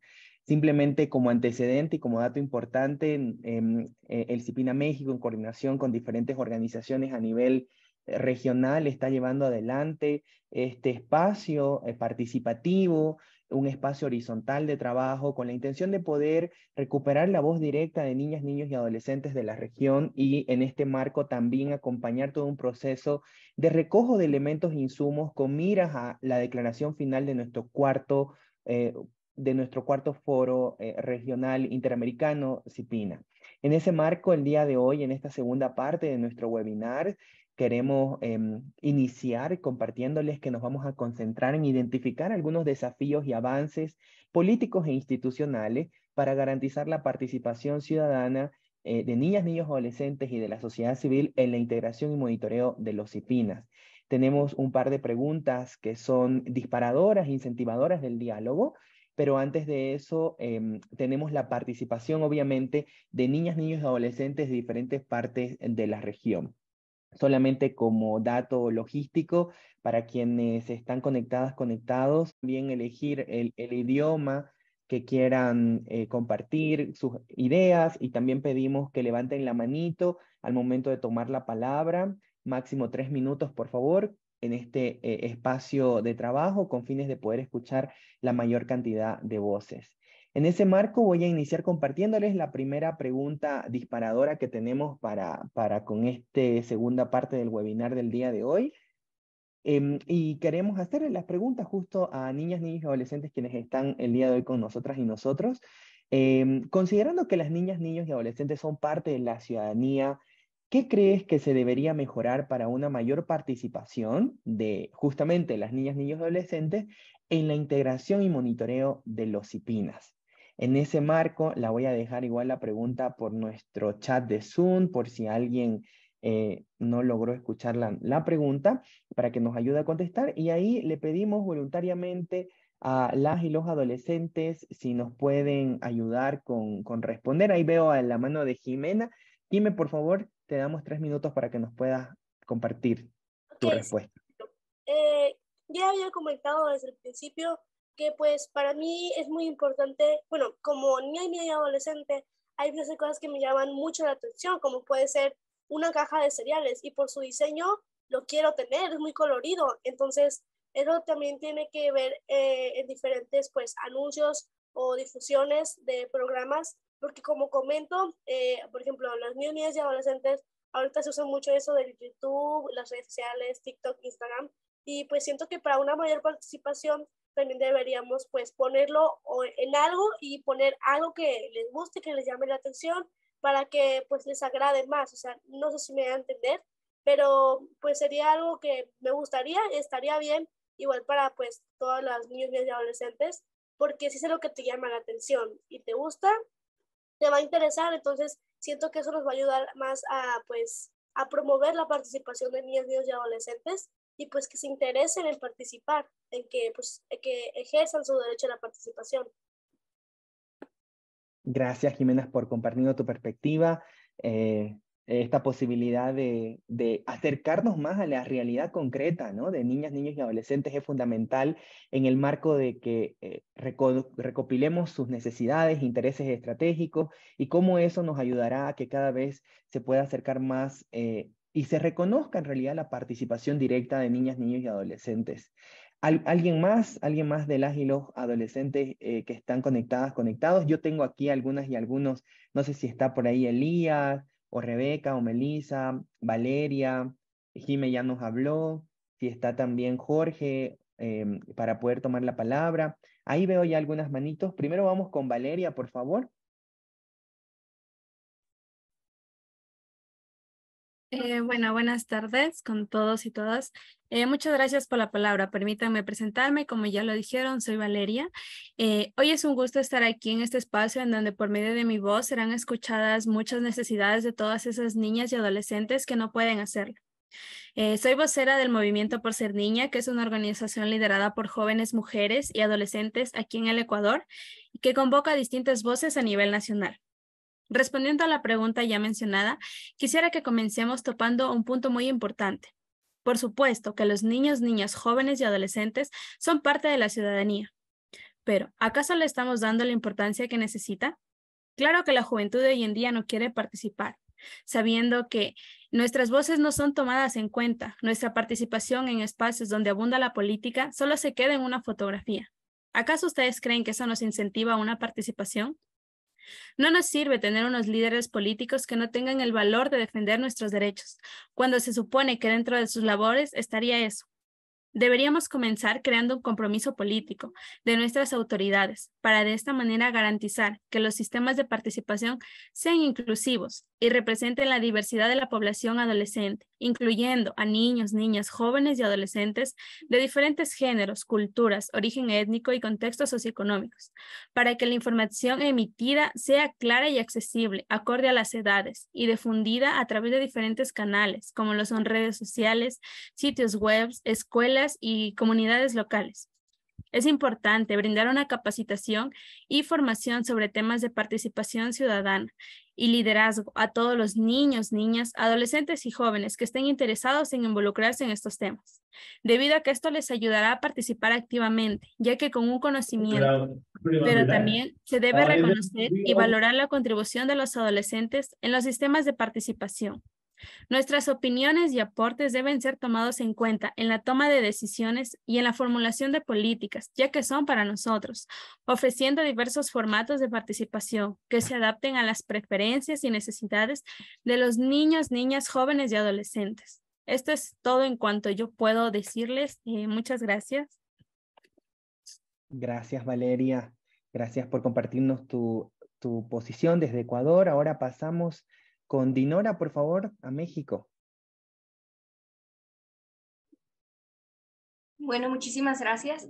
Este, yo siento que una de las mejores maneras para lograr la participación y que se involucren los niños, niñas y adolescentes es la implementación y las propuestas de los consejos consultivos de más bien del sistema de protección integral de niños, niñas y adolescentes, CIPINA, este, y que tengan un espacio especial en los que los niños, niñas y adolescentes puedan decir sus opiniones, puedan completar foros, puedan responder entrevistas en las que se les tome en cuenta realmente sus opiniones.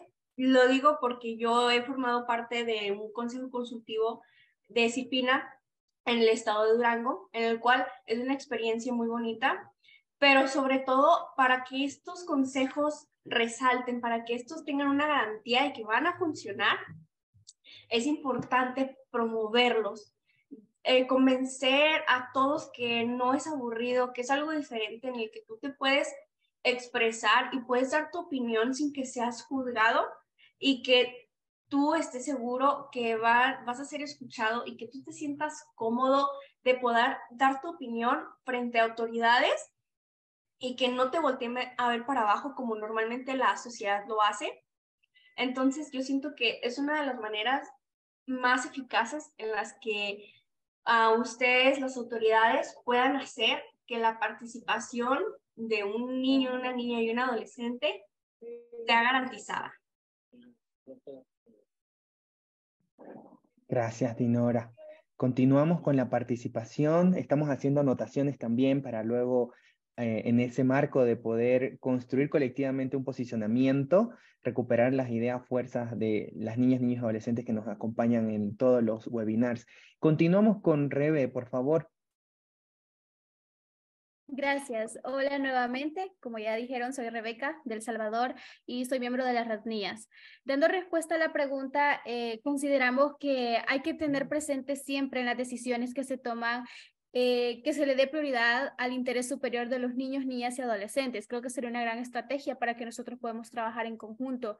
Eh, también es importante eh, conocer los esfuerzos por garantizar una participación real de nosotros los niños, niñas y adolescentes en los consejos consultivos de los sistemas, de los sistemas nacionales de protección.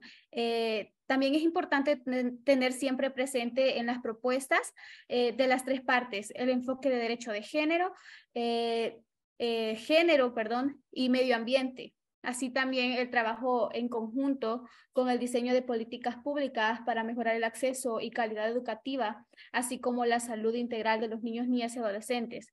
Estos tres actores eh, deben coordinarse para que se pueda visibilizar las propuestas conjuntas.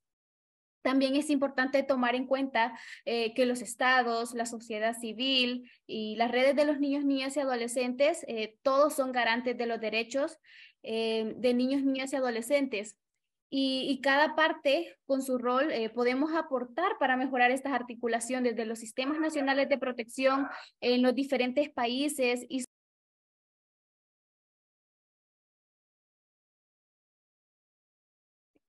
Rebeca, estás en silencio, estás en mute, perdón. Perdón, sí me escucharon al principio, ¿verdad? Sí, sí, sí, solamente ah, la última parte, por favor, si nos puedes repetir.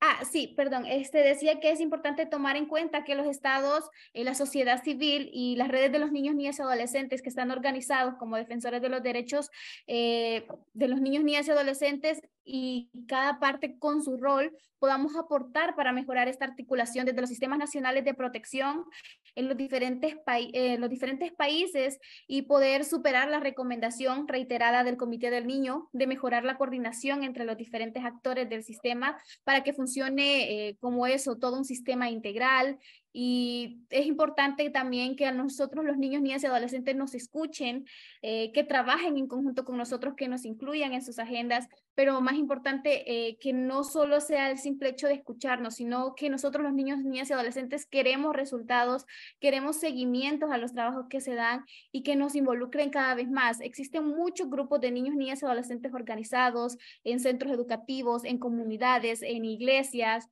en instituciones, pero necesitamos que nos permitan conocer los espacios de participación para nosotros poder involucrarnos y trabajar de manera conjunta, que se creen espacios intergeneracionales donde podamos expresarnos. Y muy importante creo que es también que cuando el Estado, la sociedad civil vaya a trabajar con niños, estén capacitados para trabajar con niños, que entiendan que no van a trabajar con otras personas adultas, que no entendemos muchas veces las palabras técnicas, que sea un lenguaje adaptado eh, para nosotros con metodologías lúdicas a manera de que nosotros también podamos aportar, sentir la confianza, ya que somos nosotros quienes estamos viviendo desde nuestras propias experiencias, las diferentes eh, vulneraciones. Somos eh, nuevas generaciones con nuevas ideas, mente fresca que podemos aportar mucho y con las experiencias de los adultos podemos crear grandes eh, soluciones a los diferentes problemas que nos estamos, que estamos experimentando actualmente que nos pueden ayudar a disminuir todo eso. Entonces, creo que por, ahí podría ir, que podamos trabajar en conjunto. Eh, y eso, muchas gracias. Gracias, Rebe. Tomamos nota de tus aportes relacionados a, a qué es lo que se tiene que mejorar para garantizar y tener una participación efectiva de niñas, niños y adolescentes en todo el proceso de integración de los sistemas de protección en cada uno de nuestros países. Continuamos recopilando información y esas eh, buenas prácticas, lecciones aprendidas también y, experiencias de las niñas, niños y adolescentes que están participando en este tercer webinar. Y ahora eh, queremos escucharte, Nicolás, por favor. Ahí estás con la manita levantada. Olá. É, para aumentar a participação de crianças e adolescentes, é, é necessário promover uma comunicação clara e acessível, ofer oferecer educação de direitos e criar espaços seguros para a expressão, realizar consultas regulares e fornecer treinamento para as crianças e adolescentes.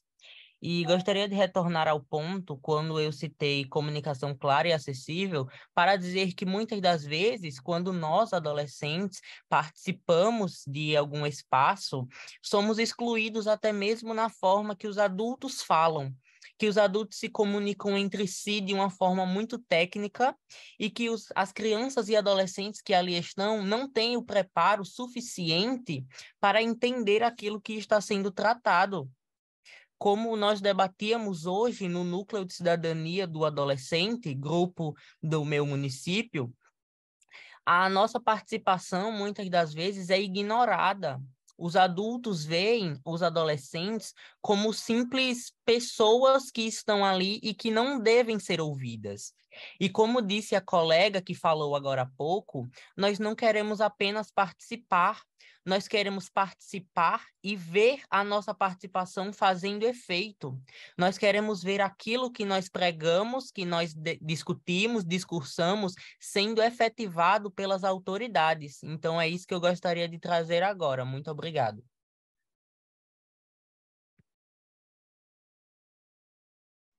Gracias, Nicolás. Estamos tomando nota de tus aportes también. Continuamos con Melissa, por favor. Te pasamos el micrófono también para poder conocer tus respuestas a nuestra pregunta relacionada a esos desafíos respecto a la participación de niñas, niños y adolescentes en el marco de, los, de la integración de los sistemas. Sí, muy buenas tardes a todos. Bueno, mi nombre es Melissa, soy de Perú, tengo 16 años y respondiendo a la pregunta, actualmente nos enfrentamos a desafíos importantes en diversas dimensiones y es fundamental que trabajemos juntos para superarlos y garantizar el pleno cumplimiento de los derechos de los niños y adolescentes. Entonces, en primer lugar, en el ámbito normativo, el principal desafío siento que es la armonización y adecuación de las leyes y regulaciones que rigen la protección de la infancia. La colaboración entre los distintos actores implica la revisión y actualización constante de marcos legales para garantizar que sean coherentes y eficientes en la promoción y defensa de los derechos de los más jóvenes.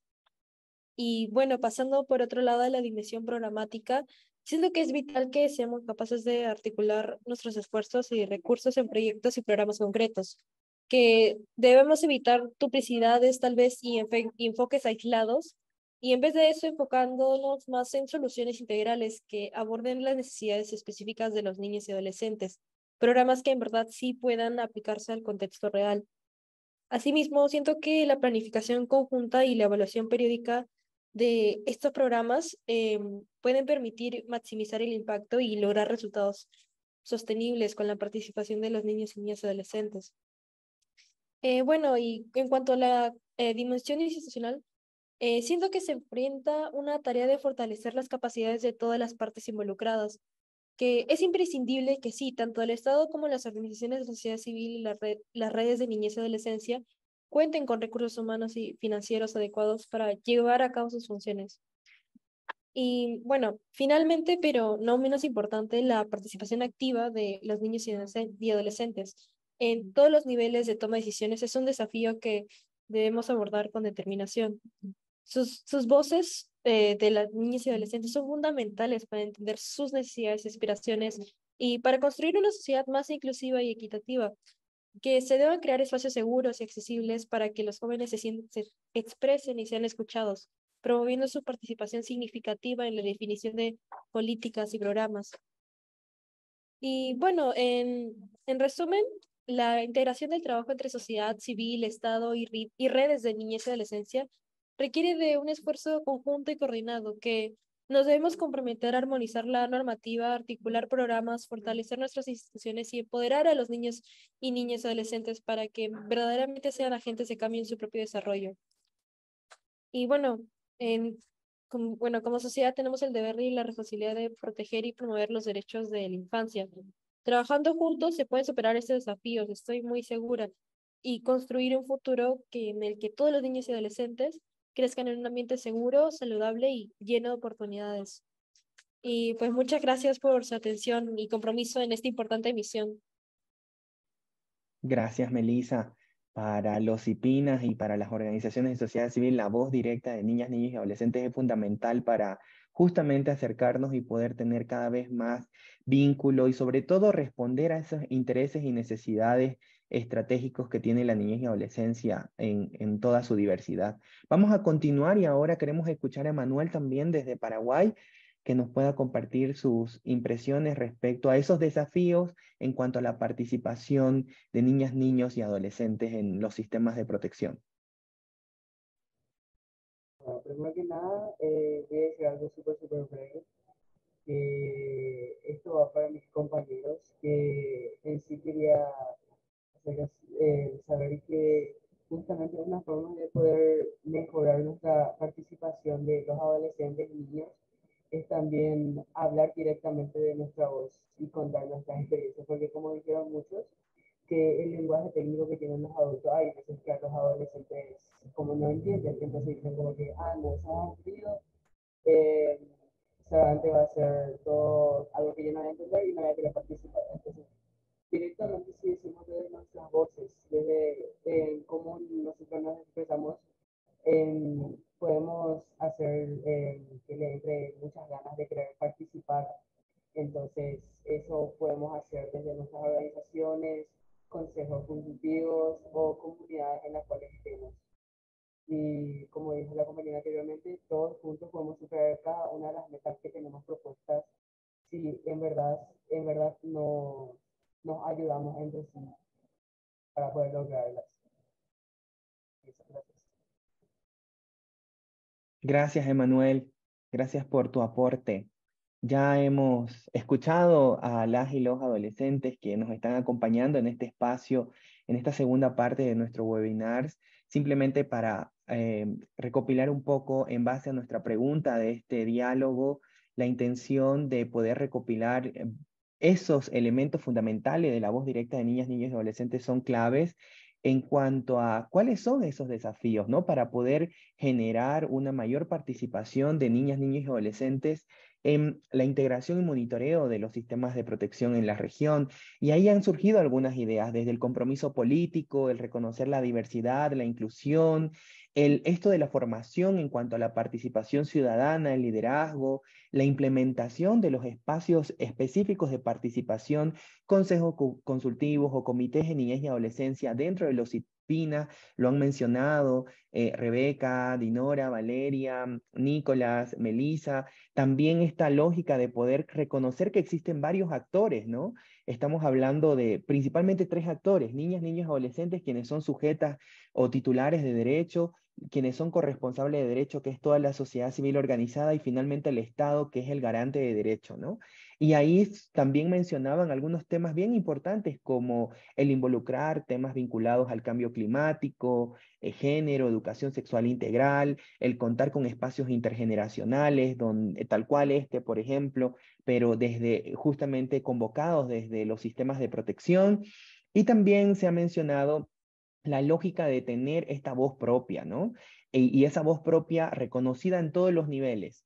Eh, Melissa nos mencionaba, por ejemplo, algunos ámbitos desde lo normativo, lo programático, ¿no? lo institucional. La intención es en cualquiera de los ámbitos poder tener la voz directa de niñas, niños y adolescentes. Considerando que hemos recogido em, la voz de, quienes están acompañándonos el día de hoy, quizás ahora nos toca pasarle la voz si tenemos personal de, los sistemas de protección de los diferentes estados, sería importante que el día de hoy tomen la palabra también, les queremos escuchar, o también actores de sociedad civil, simplemente para mm, recordar la pregunta. El día de hoy estamos reflexionando en esta segunda parte del webinar, cuáles creemos que son las maneras que deberíamos de Em, trabajar para poder tener una mayor participación de niñas, niños, adolescentes dentro del sistema eh, en la integración y monitoreo de los CIPINAS.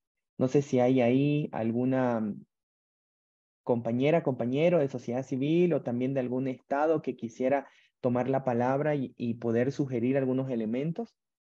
Les escuchamos.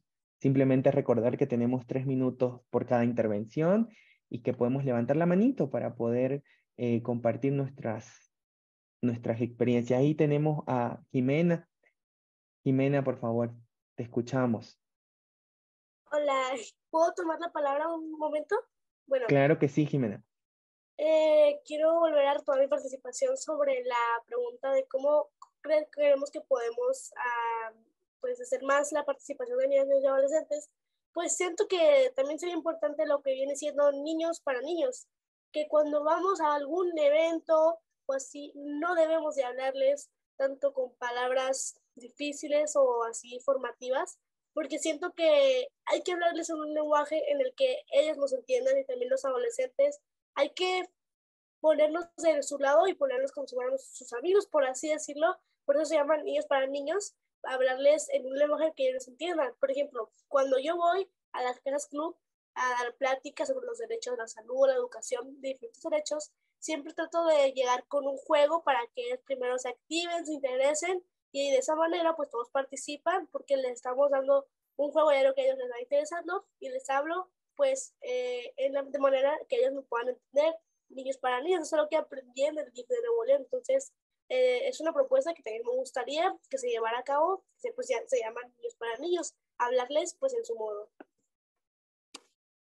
Gracias, Jimena. Es fundamental el, esa voz, ¿no? Y, y sobre todo escucharles a partir de su propia realidad Estamos tomando nota también de esta metodología par par, de garantizar de niños para niños un lenguaje entendible con estos ejemplos que mencionabas a través de los juegos, que sean lúdicos, ¿no? Gracias, Jimena. No sé, eh, colegas, ahí les pasamos la voz. También en el chat hay un llamado de que si somos adultas, adultos y estamos acompañando este proceso, ya sea desde sociedad civil o los estados y queremos compartir alguna impresión respecto a, a la pregunta de cuáles son esos desafíos, quizás mencionar em, ahora, ¿no? Y poder levantar la manito, ahí les escuchamos adultas y adultos, si es que están por ahí, colegas de sociedad civil o también de los diferentes estados, pueden tomar la palabra, por favor, queremos escucharles.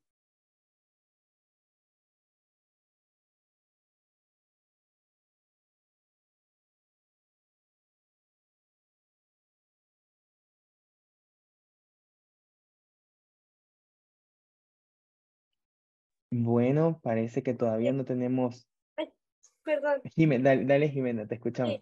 bueno, me gustaría también comentar otra cosa, perdón, eh, gracias por la palabra, eh, que hace poquito aquí en México hubo lo que se llamó Consulta Me Escuchas 2022, 2020, sí, 2022, sí, ¿verdad? 2022. Y bueno, fue algo que a mí me, me agradó mucho porque era una consulta, pues una encuesta de pues, preguntas elaboradas. Eh, por ejemplo, ¿qué es lo que te gusta de tu colonia? ¿Qué es lo que no te gusta? Elaboradas principalmente para niños, niños y adolescentes. Que eso se llevó a cabo, lo llevamos ya, tuvimos un viaje a la Ciudad de México y ahí fue cuando se, pues, expuso la consulta, por así decirlo. Tenemos una, una mascota que se llama Satitli, tiene un nombre en náhuatl, pero fue algo muy divertido que también le divirtió mucho a los niños le digo, yo fui, participé de esa consulta y fue algo que me llamó mucho la atención y le llamó mucho la atención a los niños porque yo vi como ellos, wow, la, lo, la, lo que era la, animal, la caricatura, la mascota, wow, la mascota, vean, y también fue algo muy divertido para ellos porque, bueno, esto siempre lo digo, eh, no muchas veces te piden tu opinión en la calle o en cualquier parte, entonces, pues también para ellos expresar su opinión, siento que también es algo muy importante. Ellos lo toman, pues, no por decirlo a pecho, pero sí se sienten, pues, alegres de que los tomen en cuenta. Entonces, eso fue, bueno, compartiéndoles una de mis experiencias, que lo que fue la consulta No Escuchas 2022. Fue algo muy lindo, la verdad. Gracias, Jimena, por compartirnos. Esa es una buena práctica y sobre todo que eso quede registrado y pueda hacerse algo, ¿no? Respecto a, recoger la voz directa de niñas, niños y adolescentes. Vamos a continuar. Víctor, te vemos con la manito levantada. Por favor, si puedes tomar el micrófono y te escuchamos también. Muchas gracias, Miguel. Buenas tardes a todos y a todas. Eh, siempre es un gusto estar escuchando a los y las adolescentes con esta claridad y con este nivel de cuestionamiento que tienen muchas costumbres y hábitos adultos, ¿no? Eh, yo quería hacer hincapié en algunas cositas. En primer lugar, si reconocemos, como creo que está claramente reconocido, que la participación es un derecho de los niños, niñas y adolescentes, creo que tenemos que tratar de superar esta tendencia a que sea como una cuestión como un lujo, ¿verdad? Como algo que a veces se puede hacer, como algo que eh, es una especie de concepción de los adultos hacia ellos. Si es realmente un derecho, que tiene que estar incluido en la parte normativa de la Esto me parece que es un elemento importante, que no sea buena voluntad de las autoridades escuchar, sino que sea una obligación legal y un derecho legalmente reconocido. También esto tiene que tener un correlato institucional, o sea, las instituciones deben tener espacios de participación. Recién creo que era Dinora, si no me equivoco, decía algo de eso, ¿verdad? De la importancia de los consejos consultivos. Creo que eh, hay una experiencia en la región importante en ese sentido y que debe haber espacios previstos en las estructuras institucionales. Y lo tercero es el tema de la formación, ya no solo de los adolescentes y las adolescentes, sino de los adultos. O sea, es necesario desestructurar muchas cosas en las cabezas de los adultos. Seguimos pensando que estamos trabajando para la niñez y no con la niñez muchas veces. Y creo que eso es una tarea formativa, pero es una tarea de formación permanente también, para evitar justamente que estos espacios y estas oportunidades que se generan de participación eh, decaigan, se degraden en cuanto a calidad y terminan siendo espacios decorativos, ¿verdad? Creo que ahí hay un desafío muy grande y que hay que pensar realmente en la formación y en cómo en esa formación participan los propios niños y adolescentes, en la formación de los adultos. Creo que esto es también un elemento importante. Bueno, simplemente quería compartir eso y la verdad es que es un espacio muy rico y que estamos enriqueciéndonos y disfrutando mucho de esta escucha. Gracias, Víctor, por plantearnos algunos desafíos adicionales a lo que adolescentes nos están compartiendo el día de hoy en esta segunda parte del webinar. Eh, nos estás planteando desafíos que no solamente son para los estados, sino desde esa mirada integral para todos los actores quienes coordinamos con los sistemas de protección también y obviamente la voz directa de, de niñas, niños y adolescentes, ¿no? Tengo dos manitos levantadas que queremos escuchar también. Está Elías y luego Angelina, por favor, para poder escucharles también. Sí, me escucho. Buenas tardes. Sí, Elías, te escuchamos. Ok. Este, pues primeramente, muchísimas gracias por el espacio de participación que me están brindando. Mi nombre es Elías Castor y soy el representante, soy el representante de de, del país de México. Y pues yo creo que uno de los puntos principales para tocar este, en esta pregunta, más que nada para poder llegar a la participación de, de niños, niñas y adolescentes, es implementar consejos, este, como ya lo han mencionado, también, ¿cómo se llama? Comisiones de participación, porque más que nada, como ya sabemos, la participación es un derecho tan poderoso que necesitamos ejercer y es un derecho que marca un punto y aparte y desengloba, desencadena más que nada otros derechos, como el momento de participar ya estamos también, al momento de dar nuestra opinión y de participar estamos brindando el derecho de libertad de expresión y es algo de lo que tal vez no nos damos cuenta, pero así como este derecho de libertad de expresión al momento de ejercer el, el derecho de participar, podemos ejercer otros más. Entonces yo creo que uno de los puntos como principales para poder llegar a la participación de los niños, niñas y adolescentes, algo interesante que podría ser para nosotros es que se empleen este tipo de mesas de trabajo y no nada más algo presencial, sino como lo estamos haciendo ahorita en línea, en Zoom, yo creo que, que también es muy, muy importante y muy valioso para nosotros los niños y los adolescentes de, de México y de todos los países que estamos representando el día de hoy. Muchas gracias. Gracias, Elías, por recalcar este, esta importancia de los espacios de participación, ya sean consejos, comités que se tienen. Em, y como decía Víctor, también ya están muchos espacios normados en nuestros países, pero la idea es también cómo se van formalizando eso, ¿no? Y que aunque cambiemos de autoridades, estos espacios se mantengan y que se adecúen al contexto, como lo decía Elías, ¿no? Que pueden ser espacios virtuales, presenciales, dependiendo del contexto. Ahora sí, continuamos. Angelina, por favor, te pasamos ahí el micrófono para poder escucharte también. Por la palabra. A lo que yo también me quería enfocar era la respuesta de nuestro compañero Víctor él mencionaba que de hecho sí existen espacios este, en donde se toman en consideración a los niños, en este caso en Ecuador, es una responsabilidad del Estado que existan los consultivos de adolescentes, de niños y que más que nada eh, se tomen en cuenta sus opiniones. Pero algo que arraiga mucho son los patrones culturales de adultocentrismo, en donde incluso donde estos espacios de participación limitan la participación activa y política de la niñez y adolescencia. Incluso existiendo este, la implementación de las mesas de trabajo, lo que también es muy importante es la difusión de estos espacios. Por ejemplo, es muy claro que lamentablemente, eh, como nos mencionaba él, es necesario cambiar esta idea de que es como un privilegio tener estos espacios, pero lamentablemente dentro de una cultura en donde estos espacios de participación están más en las ciudades grandes, es muy difícil que algunas veces esto llegue a comunidades, esto llegue a niños y niñas adolescentes que están incluso pasando una realidad distinta fuera de esta burbuja.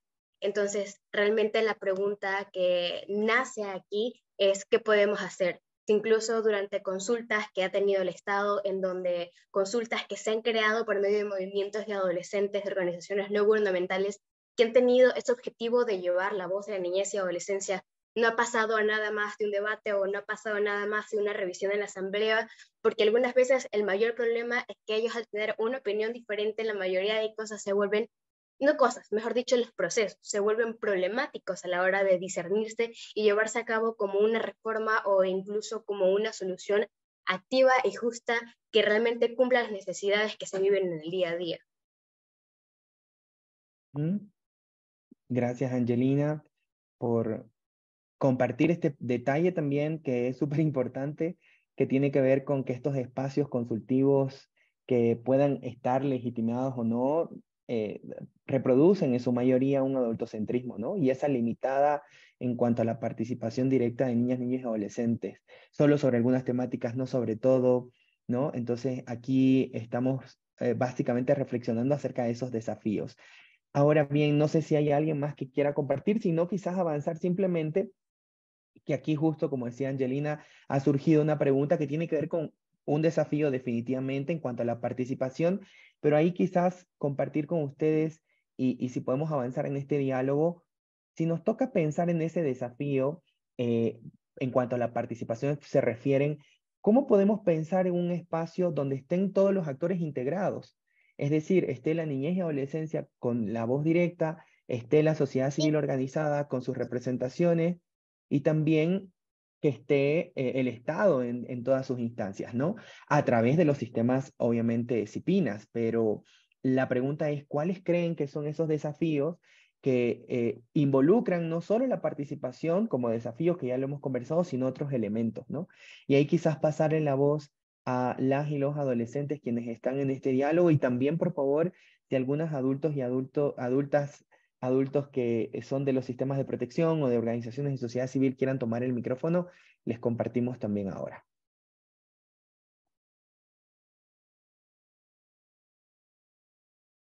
Paula, por favor, te escuchamos.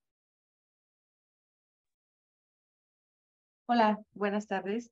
Este, gracias a, todos los, niños, niñas y adolescentes por la participación de hoy. Eh, quisiera hacer especial énfasis en la aportación de Elías, que yo soy del CIPINA Nuevo León, entonces eh, tengo de repente contacto con Elías, con Jimena y con Jorge.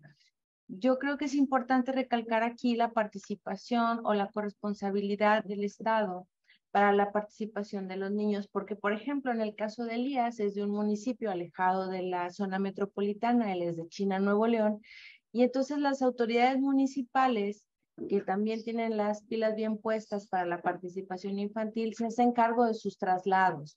Entonces, ese es, ese es un punto que sí me gustaría que se, que se tomara en cuenta, la corresponsabilidad del Estado para lograr la efectiva participación de niñas, niños y adolescentes. Gracias. Gracias, Paula, por compartirnos esta buena práctica. Es importante que eh, podamos a partir de las condiciones también que tienen cada uno de los estados, el poder identificar estas buenas prácticas, porque son desafíos, ¿no? Que tiene que ver con cómo, pese a la distancia, buscamos maneras de apoyar esa participación. Solo hay quizás un elemento importante que, el CIPINA es su corazón, digamos, de trabajo, tiene que ver con cómo esta participación se convierte en una participación protegida, ¿no? Garantizando procesos, eh, el tema del cuidado, la corresponsabilidad con la familia. Es importante el que en cualquier espacio de trabajo que tengamos con niñas, niños y adolescentes podamos garantizar esa participación eh, que sea lo más protegida posible, ¿no? En el marco del el ejercicio de sus derechos, obviamente, de, de niñas, niños y adolescentes. No sé si hay alguien más que quiera compartirnos em, algunas de sus impresiones.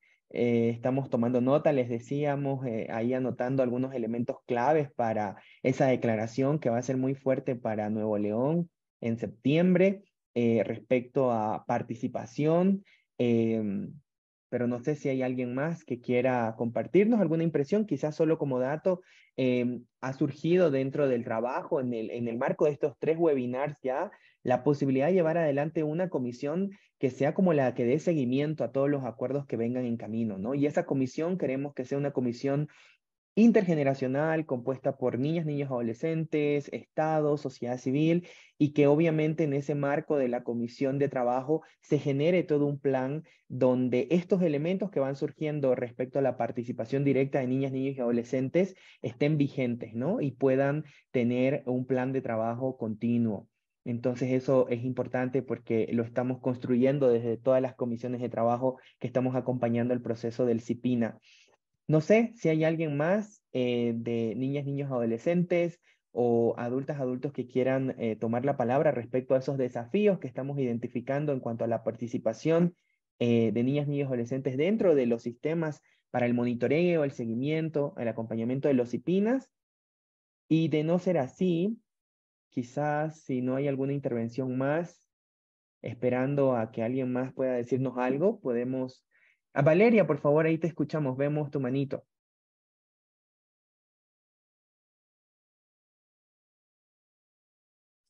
Eh, bueno, gracias otra vez por la palabra. Em, creo que recopilando todos los comentarios que han hecho todos y todas aquí, eh, siento que la mayor parte de un problema es que no existe una buena inversión en la educación y esto conlleva a una desinformación muy grande. Y como sabemos, la desinformación conlleva a desencadenar muchos problemas, los cuales eh, el Estado siento que debería proporcionar más recursos a la educación, a que los profesionales que brindan eh, la atención tanto en salud como docentes sean capacitados, porque sabemos que si una persona está capacitada puede ayudar a los jóvenes a, a crear, mejor dicho, jóvenes con capacidad de defenderse, que sean jóvenes funcionales en la vida. Y siento que si desde muy pequeña se fomenta esta, esta información de una participación activa, eh, claro está que va de la mano con una escucha activa que deberían tener las personas adultas hacia nosotros, debido a que, como sabemos, somos jóvenes, tenemos muchas ideas y Siento que a veces, como ya lo dijo Angelina, si no me equivoco, el, adultocentrismo, el adultocentrismo está eh, por encima de todo y a veces eh, siento que no sería correcto que sean adultos los que crean leyes para los jóvenes, porque un adulto no sabe lo que un joven necesita. Eh, por ende, si, se, si se abrieran más espacios de participación activa, eh, sería genial debido a que seríamos nosotros quienes expusiéramos y dijéramos qué nos hace falta, qué necesitamos, qué, qué es lo que a nosotros nos va a ayudar, qué temas nos interesa saber, de qué manera podemos aprender, porque como alguien ya lo dijo, hay muchas maneras de aprender y muchas personas eh, no aprendemos de la misma manera. Entonces, siento que el Estado sí se debería enfocar más en la educación y en brindar un presupuesto mayor, ya que nosotros somos el futuro de un país, por decirlo así. Y, y tenemos que desde nosotros empezar a crear un, eh, un futuro mejor a nuestras generaciones eh, que vienen detrás. Una generación que sabemos que ahora con la tecnología es mucho más avanzada y debemos utilizar todos estos recursos que ya nos está dando eh, todo el mundo para poder eh, crecer mucho más y mejorar. Y el Estado debería aprovechar estas cosas. Gracias. Gracias, Valeria, por tus aportes relacionados a esto que mencionabas, el uso de la tecnología, lo de la educación, la capacitación, el que se capaciten en, el marco de esa funcionalidad en la vida, eso es parte de, de esa transformación y al reconocer también a la niñez, adolescencia y juventud en toda su diversidad como sujeta y que tiene que participar en todas las instancias, momentos dentro del sistema. Continuamos, tenemos ahí la manito de Juan Martín. Juan Martín, te escuchamos. Hola, muy buen, buena tarde. Disculpen que no abra este, la cámara, estoy este, vía pública, entonces complicado. Sí, eh, bueno, sumarme a las reflexiones que han hecho antes eh, niños, eh, niñas y adolescentes, y quizás yo mencionaría tres grandes desafíos que tenemos para la participación. Ya se han mencionado, uno claramente es hacer visible el adultocentrismo y acompañar al mundo adulto para ir dejando esa mirada adultocéntrica porque no es un tema mágico, o sea, no solamente decirlo o incluso que nosotras personas adultas lo reconozcamos, no significa que lo cambiemos. Eh, y creo que ahí eh, hay que reconocer también las resistencias que van, a, que van a surgir o que surgen generalmente en los espacios de participación de niños, niñas y adolescentes, y eso, además de exigencia, requiere también acompañamiento al mundo adulto. Otro tema que animaría a pensar eh, como en esta misma lógica, es un desafío intergeneracional. Esto implica eh, reconocer que no va a ser exactamente como lo imaginamos en el mundo adulto o no va a ser exactamente como se lo imaginan niños, niñas y adolescentes, sino tiene que ser una mezcla. Y eso implica un esfuerzo mutuo también para niños, niñas y adolescentes de adaptarse un poco a cierto formato, el mundo adulto también, y ese diálogo intergeneracional no estamos preparados, ¿eh? En general, incluidas las propias organizaciones, y hablo en mi rol de organizaciones, seguimos siendo bastante adultocéntricos en nuestras prácticas, aunque discursivamente hablemos mucho de ello o de la participación. Eh, y un tercer elemento con el cual eh, cerraría es algo que es un poco intangible, difícil de precisar, pero tan elemental como respirar, y es la voluntad política sin voluntad política de quienes toman la decisión, no hay CIPINA que funcione, no hay sistema de protección que funcione, y esa voluntad política se expresa pues en participación, y tenemos que hacer aquí una autocrítica adulta para nuestro comité organizador. Tenemos muy poca participación adulta en este, en este espacio y ofrezco disculpas a los eh, niños, niñas y adolescentes que están acá, eh, pero precisamente esta voluntad política se refleja con nuestra asistencia con nuestra voz, con recursos, y creo que eh, estos espacios que hemos ido construyendo a lo largo de varios años, con el primer foro interamericano en México 2017, ahora tenemos un gran avance, pero nos sigue fallando la voluntad política de los que toman decisiones. Y eso es una de las principales eh, realidades y obstáculos que tenemos. Entonces, lo dejo hasta aquí. Y bueno, gracias por todos los aportes fantásticos que nos han hecho durante las dos jornadas. Gracias. Gracias, Juan Martín, por tus reflexiones y en línea con lo que niñas, niños, adolescentes nos han ido compartiendo en esta jornada. Em, la voluntad política definitivamente es fundamental para garantizar un avance en esa transformación, en esos desafíos que niñas, niños y adolescentes el día de hoy nos han compartido. Eh, es fundamental el que reflexionemos también cuál es el rol de sociedad civil, el rol de la niñez y adolescencia, el rol de los estados frente a un cuarto foro, ¿no? Y en qué medida participan tomadoras, tomadores de decisión en estos espacios virtuales de preparación y de cara al cuarto foro. Eh, veo la manito de Patricia Horna. Pati, por favor, te escuchamos también. Sí, muchas gracias, Miguel. Eh, me sumo a la felicitación de la participación en este espacio. Eh, la participación de niños, niñas y adolescentes eh, mayoritaria en este espacio nos muestra por dónde está la real preocupación, ¿verdad? Desde, ellos, em, creo que eso es casi también un llamado de atención, tanto para las organizaciones de sociedad civil como para las representaciones de los estados en estos espacios en donde hay que escuchar las reflexiones y los aportes. Em, yo quería plantear algunos puntos eh, en relación a participación de la niñez. Efectivamente, creo que tenemos mucho tiempo en este esfuerzo y discusión, pero también quiero mirarlo desde el lado del vaso medio lleno, no solo medio vacío. Creo que este espacio es un importante ejemplo de los esfuerzos que estamos haciendo, con todo lo que nos falta avanzar. Pero creo que este, este esfuerzo de espacio intergeneracional, que los foros de sistema de protección están impulsando en cada una de sus versiones en los diferentes países donde se realizan, es creo que un buen ejercicio y creo que niños, niñas, adolescentes que han sido parte de estos procesos lo sienten, sienten el, el impacto también en su propio ejercicio de ciudadanía. Entonces, creo que por ahí vamos un poco completando esta, este rol de promover espacios reales donde se escuche y se, primero que se ponga y se escuche la voz de niños y niñas. Eh, otro aspecto que ya entrando al tema de los sistemas de protección, que es lo que nos trae aquí, em, y sumando a todo lo que se ha planteado, es cómo pueden los sistemas de protección nacionales, en sus versiones nacionales, y articulados a, los, a las instancias locales, porque hay una voz de los niños y niñas aquí, los, los he estado escuchando muy atentamente en, este, en estas horas, que vienen además de comunidades. Entonces, ¿cómo bajamos la, la calidad, la implementación, eh, el servicio de los sistemas nacionales de protección al espacio local?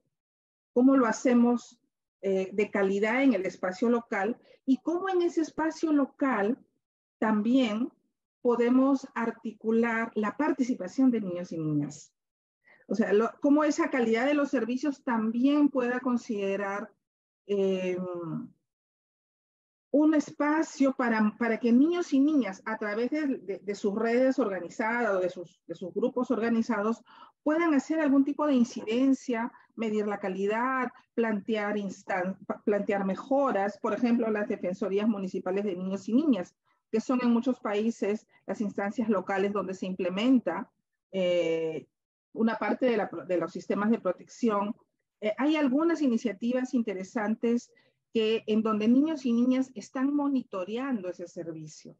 Entonces también traigo aquí cómo podemos sistematizar, recuperar la buena práctica que viene desde sociedad civil, pero que también viene desde los estados, porque hay lugares donde, es, eh, especialmente en instancias locales, los sistemas están funcionando bien porque los niños y niñas están orientando a cuáles son esas brechas, esos vacíos. Por ahí escuchaba a las chicas decir, nosotros vamos al, al sistema de salud y no, no, hay, un, no, no hay una suficiente eh, no solamente calidad en cuanto, diría yo, la, la calidad del, del, propio personal que está atendiendo. Yo, eh, nosotros estuvimos viendo algunos, algunos espacios en donde el lugar, el escritorio donde la funcionaria debe brindar el servicio al niño o al adolescente no es privado. ¿no? Por lo tanto, eh, ese, es un, e, ese es un, es algo que, quizás los adultos no lo vemos, no, no, no, sentimos como necesario, pero que sí es algo que los propios niños y adolescentes pueden señalar. Y lo mismo con todo lo que son los sistemas que ven, por ejemplo, eh, las unidades que ven protección contra la violencia. Pues yo aquí reiteraría la necesidad de que también, por un lado, miremos en los espacios locales qué mecanismos y espacios de participación hay para que las redes de niños incidan y planteen las, mejoras necesarias. Eh, creo que es necesario el tema de inversión ahí, se ha mencionado mucho, pero que también en términos de cómo el sistema de protección genera recursos para fortalecer las propias organizaciones de niños y niñas. Creo que, que, eso es un importante aporte porque aquí están representantes de organizaciones y la participación organizada es relevante para que puedan ejercer una ciudadanía activa. Gracias, Miguel. Gracias, Patti, por adicionar estos desafíos eh, vinculados a, la articulación de lo local, lo nacional, lo regional, en este caso en cuanto a, a estos espacios de trabajo, los mecanismos de participación que puedan existir y cómo se identifican eh, buenas prácticas en cuanto a la calidad de los servicios que se ofrecen dentro del sistema de protección, ¿no? creo que sí nos has planteado algunos desafíos adicionales para con eh, ese cuarto foro que está a la vuelta de la esquina y que queremos que pueda materializarse a partir del reconocimiento de la voz directa de niñas, niños y adolescentes. Em, considerando que em, ya han participado las niñas, niños, adolescentes, hemos escuchado un par de, de adultas, adultos que son integrantes de sociedad civil, principalmente, em, me sumo justo a ese llamado colectivo de también reflexionar de eh, aquí nos faltan actores claves, ¿no? Que es el Estado como tal, los estados de todos los países, de todos los, lugares donde estamos trabajando y haciendo intervención. Y creo que ese actor es importante en el sentido de garantizar em, que estas voces de niñas, niños realmente se materialicen a través de puestas en prácticas como ser políticas, programas, proyectos, ¿no? iniciativas locales donde eh, la voz directa a través de estos espacios consultivos, consejos, eh, comités puedan realmente tener un ciclo de vida duradero a lo largo de toda una gestión, ¿no? Y que no se corte en ningún momento. Así que agradecer eh, a todas, todos y principalmente a niñas, niños y adolescentes que estuvieron en este diálogo. Quiero nombrar a quienes nos han estado acompañando, Valeria, Dinora, Rebeca, Nicolás, Melisa, Emanuel, Jimena, Camila, Elías, Angelina y Valeria por darnos la posibilidad de escucharles y, también eh, la posibilidad de compartir sus impresiones respecto a esos desafíos para que la participación de niñas, niños y adolescentes esté integrada dentro de los sistemas de participación y protección integral de los derechos de niñas, niños y adolescentes en la región. Eh, agradecemos, hemos tomado nota de todos sus aportes con fines de poder tener una declaración que pueda ser lo más em, justamente productiva posible, que responda a esos intereses estratégicos y que podamos tener un plan de trabajo que pueda ser gestionado en las siguientes, em, en las siguientes etapas del, del, foro. ¿no? Em, por otro lado, simplemente hacer un recordatorio, este es nuestro tercer webinar y queremos invitarles a que no se separen del cuarto webinar que será el 18 de agosto también a las 12 horas Ciudad de México em, para poder justamente avanzar. En, ese es nuestro último y cuarto webinar eh, preparatorio con miras a, a, nuestro espacio oficial que será el 21 eh, y 22 de septiembre en Nuevo León, México. Y también eh, hacer recuerdo de que en cada uno de estos espacios estamos apostando a, que niñas, niños, adolescentes eh, generen, nos den, nos den sus aportes y podamos acompañar también en ese proceso de diálogo intergeneracional. Simplemente eso, em, agradecer a todas y todos nuevamente, niñas, niños, adolescentes, gracias por acompañarnos en este espacio participativo y eh, con nosotros será hasta el próximo, perdón, Constanza, eh, eh, acabo de leer el chat, no sé si quieres tomar la palabra antes de despedirnos, por favor. Estás en mute por si acaso. Muy, muy, muy rápido.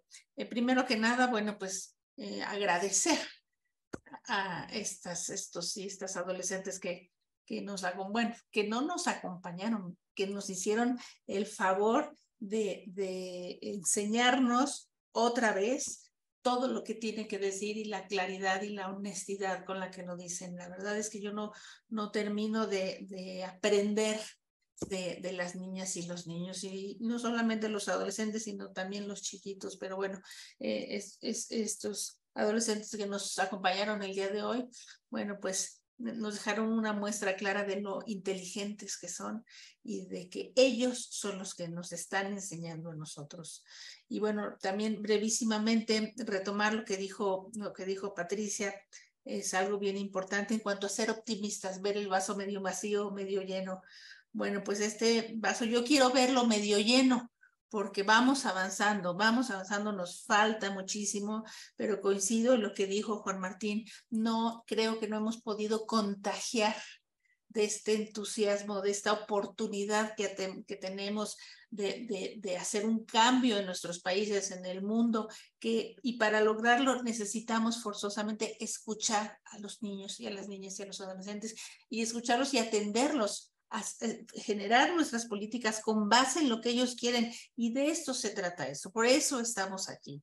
Y, y esta, es, esto que mencionó Juan Martín es cierto y estamos preocupados y tristes porque no hemos obtenido eh, el entusiasmo que, que, que, que tenemos que, conseguir es, es contagiarnos de, este, de este entusiasmo, no solamente a las entidades públicas, a los funcionarios públicos que desde luego tienen que estar más involucrados, sino al ciudadano común. Los niños están involucrados, los niños y las niñas están convencidos, los adolescentes también. Las autoridades, bueno, pues ahí vamos en nuestro camino, eh, eh, haciendo lo que podemos desde nuestras trincheras, no todas, en, ese, en eso tenemos que esforzarnos más y esforzarnos sobre todo en contagiar al ciudadano común. Cuando todos cualquiera persona sepa lo que son los sistemas de protección y por qué son tan importantes. Yo estoy seguro que la participación se va a multiplicar y los beneficios van a ser muchísimo mayores. Ya no me quiero extender, me gustaría decir muchas cosas, pero bueno, pues eh, muchísimas gracias a nuestros eh, magníficos participantes que tanto nos enseñaron el día de hoy. Gracias, Constanza, por tus reflexiones finales por compartir y que coincido contigo que ese vaso esté rebalsado, ¿no? Que rebalse, que la participación y la voz esté vigente en todos los espacios que tenemos y que, como decías, se empape realmente la gente vinculada a los sistemas. Nicolás, veo tu manito levantada, no sé si quieres decir algo más antes de cerrar el espacio. Sí, si posible. Por favor. Obrigado. É, gostaria de agradecer e parabenizar a presença de cada criança e adolescente que aqui está, fazendo esse espaço ser cada vez mais rico. Gostaria de, de agradecer aos companheiros que estão fazendo a tradução simultânea também, que me ajudaram a compreender essa é, reunião tão importante. Agradecer a Jenny, referente aqui do Brasil, que auxilia os adolescentes do Brasil, e a toda a equipe a todas as autoridades que estão envolvidas fazendo este fórum acontecer. Muito obrigado pelo espaço. Gracias, Nicolás. Voy a leer uno de los últimos comentarios que tenemos en el chat también. C. Noguera nos dice, gracias por los aportes de todas y todos. Su participación nos demuestra a los adultos de la práctica los logros en materia de participación em, y los grandes desafíos para el avance en el desarrollo de buenas prácticas con la participación de la niñez y adolescencia. Bueno, equipo, gracias a todas y todos. Gracias a, las niñas, niños, adolescentes que nos acompañaron en esta segunda parte del webinar. Simplemente hacer recuerdo que tenemos el cuarto webinar. Este cuarto webinar se realizará el 18 de agosto y se concentrará en crianza positiva, que es otro de los, de los temas seleccionados para eh, nuestro cuarto foro interamericano CIPINA. Así que les esperamos a todas y todos a que puedan participar y acompañarnos dentro de dos semanas a la misma hora aquí a través de las redes sociales de El Cipina eh, y de Olin también que estamos transmitiendo. Gracias a todas y todos y será hasta dentro de dos semanas.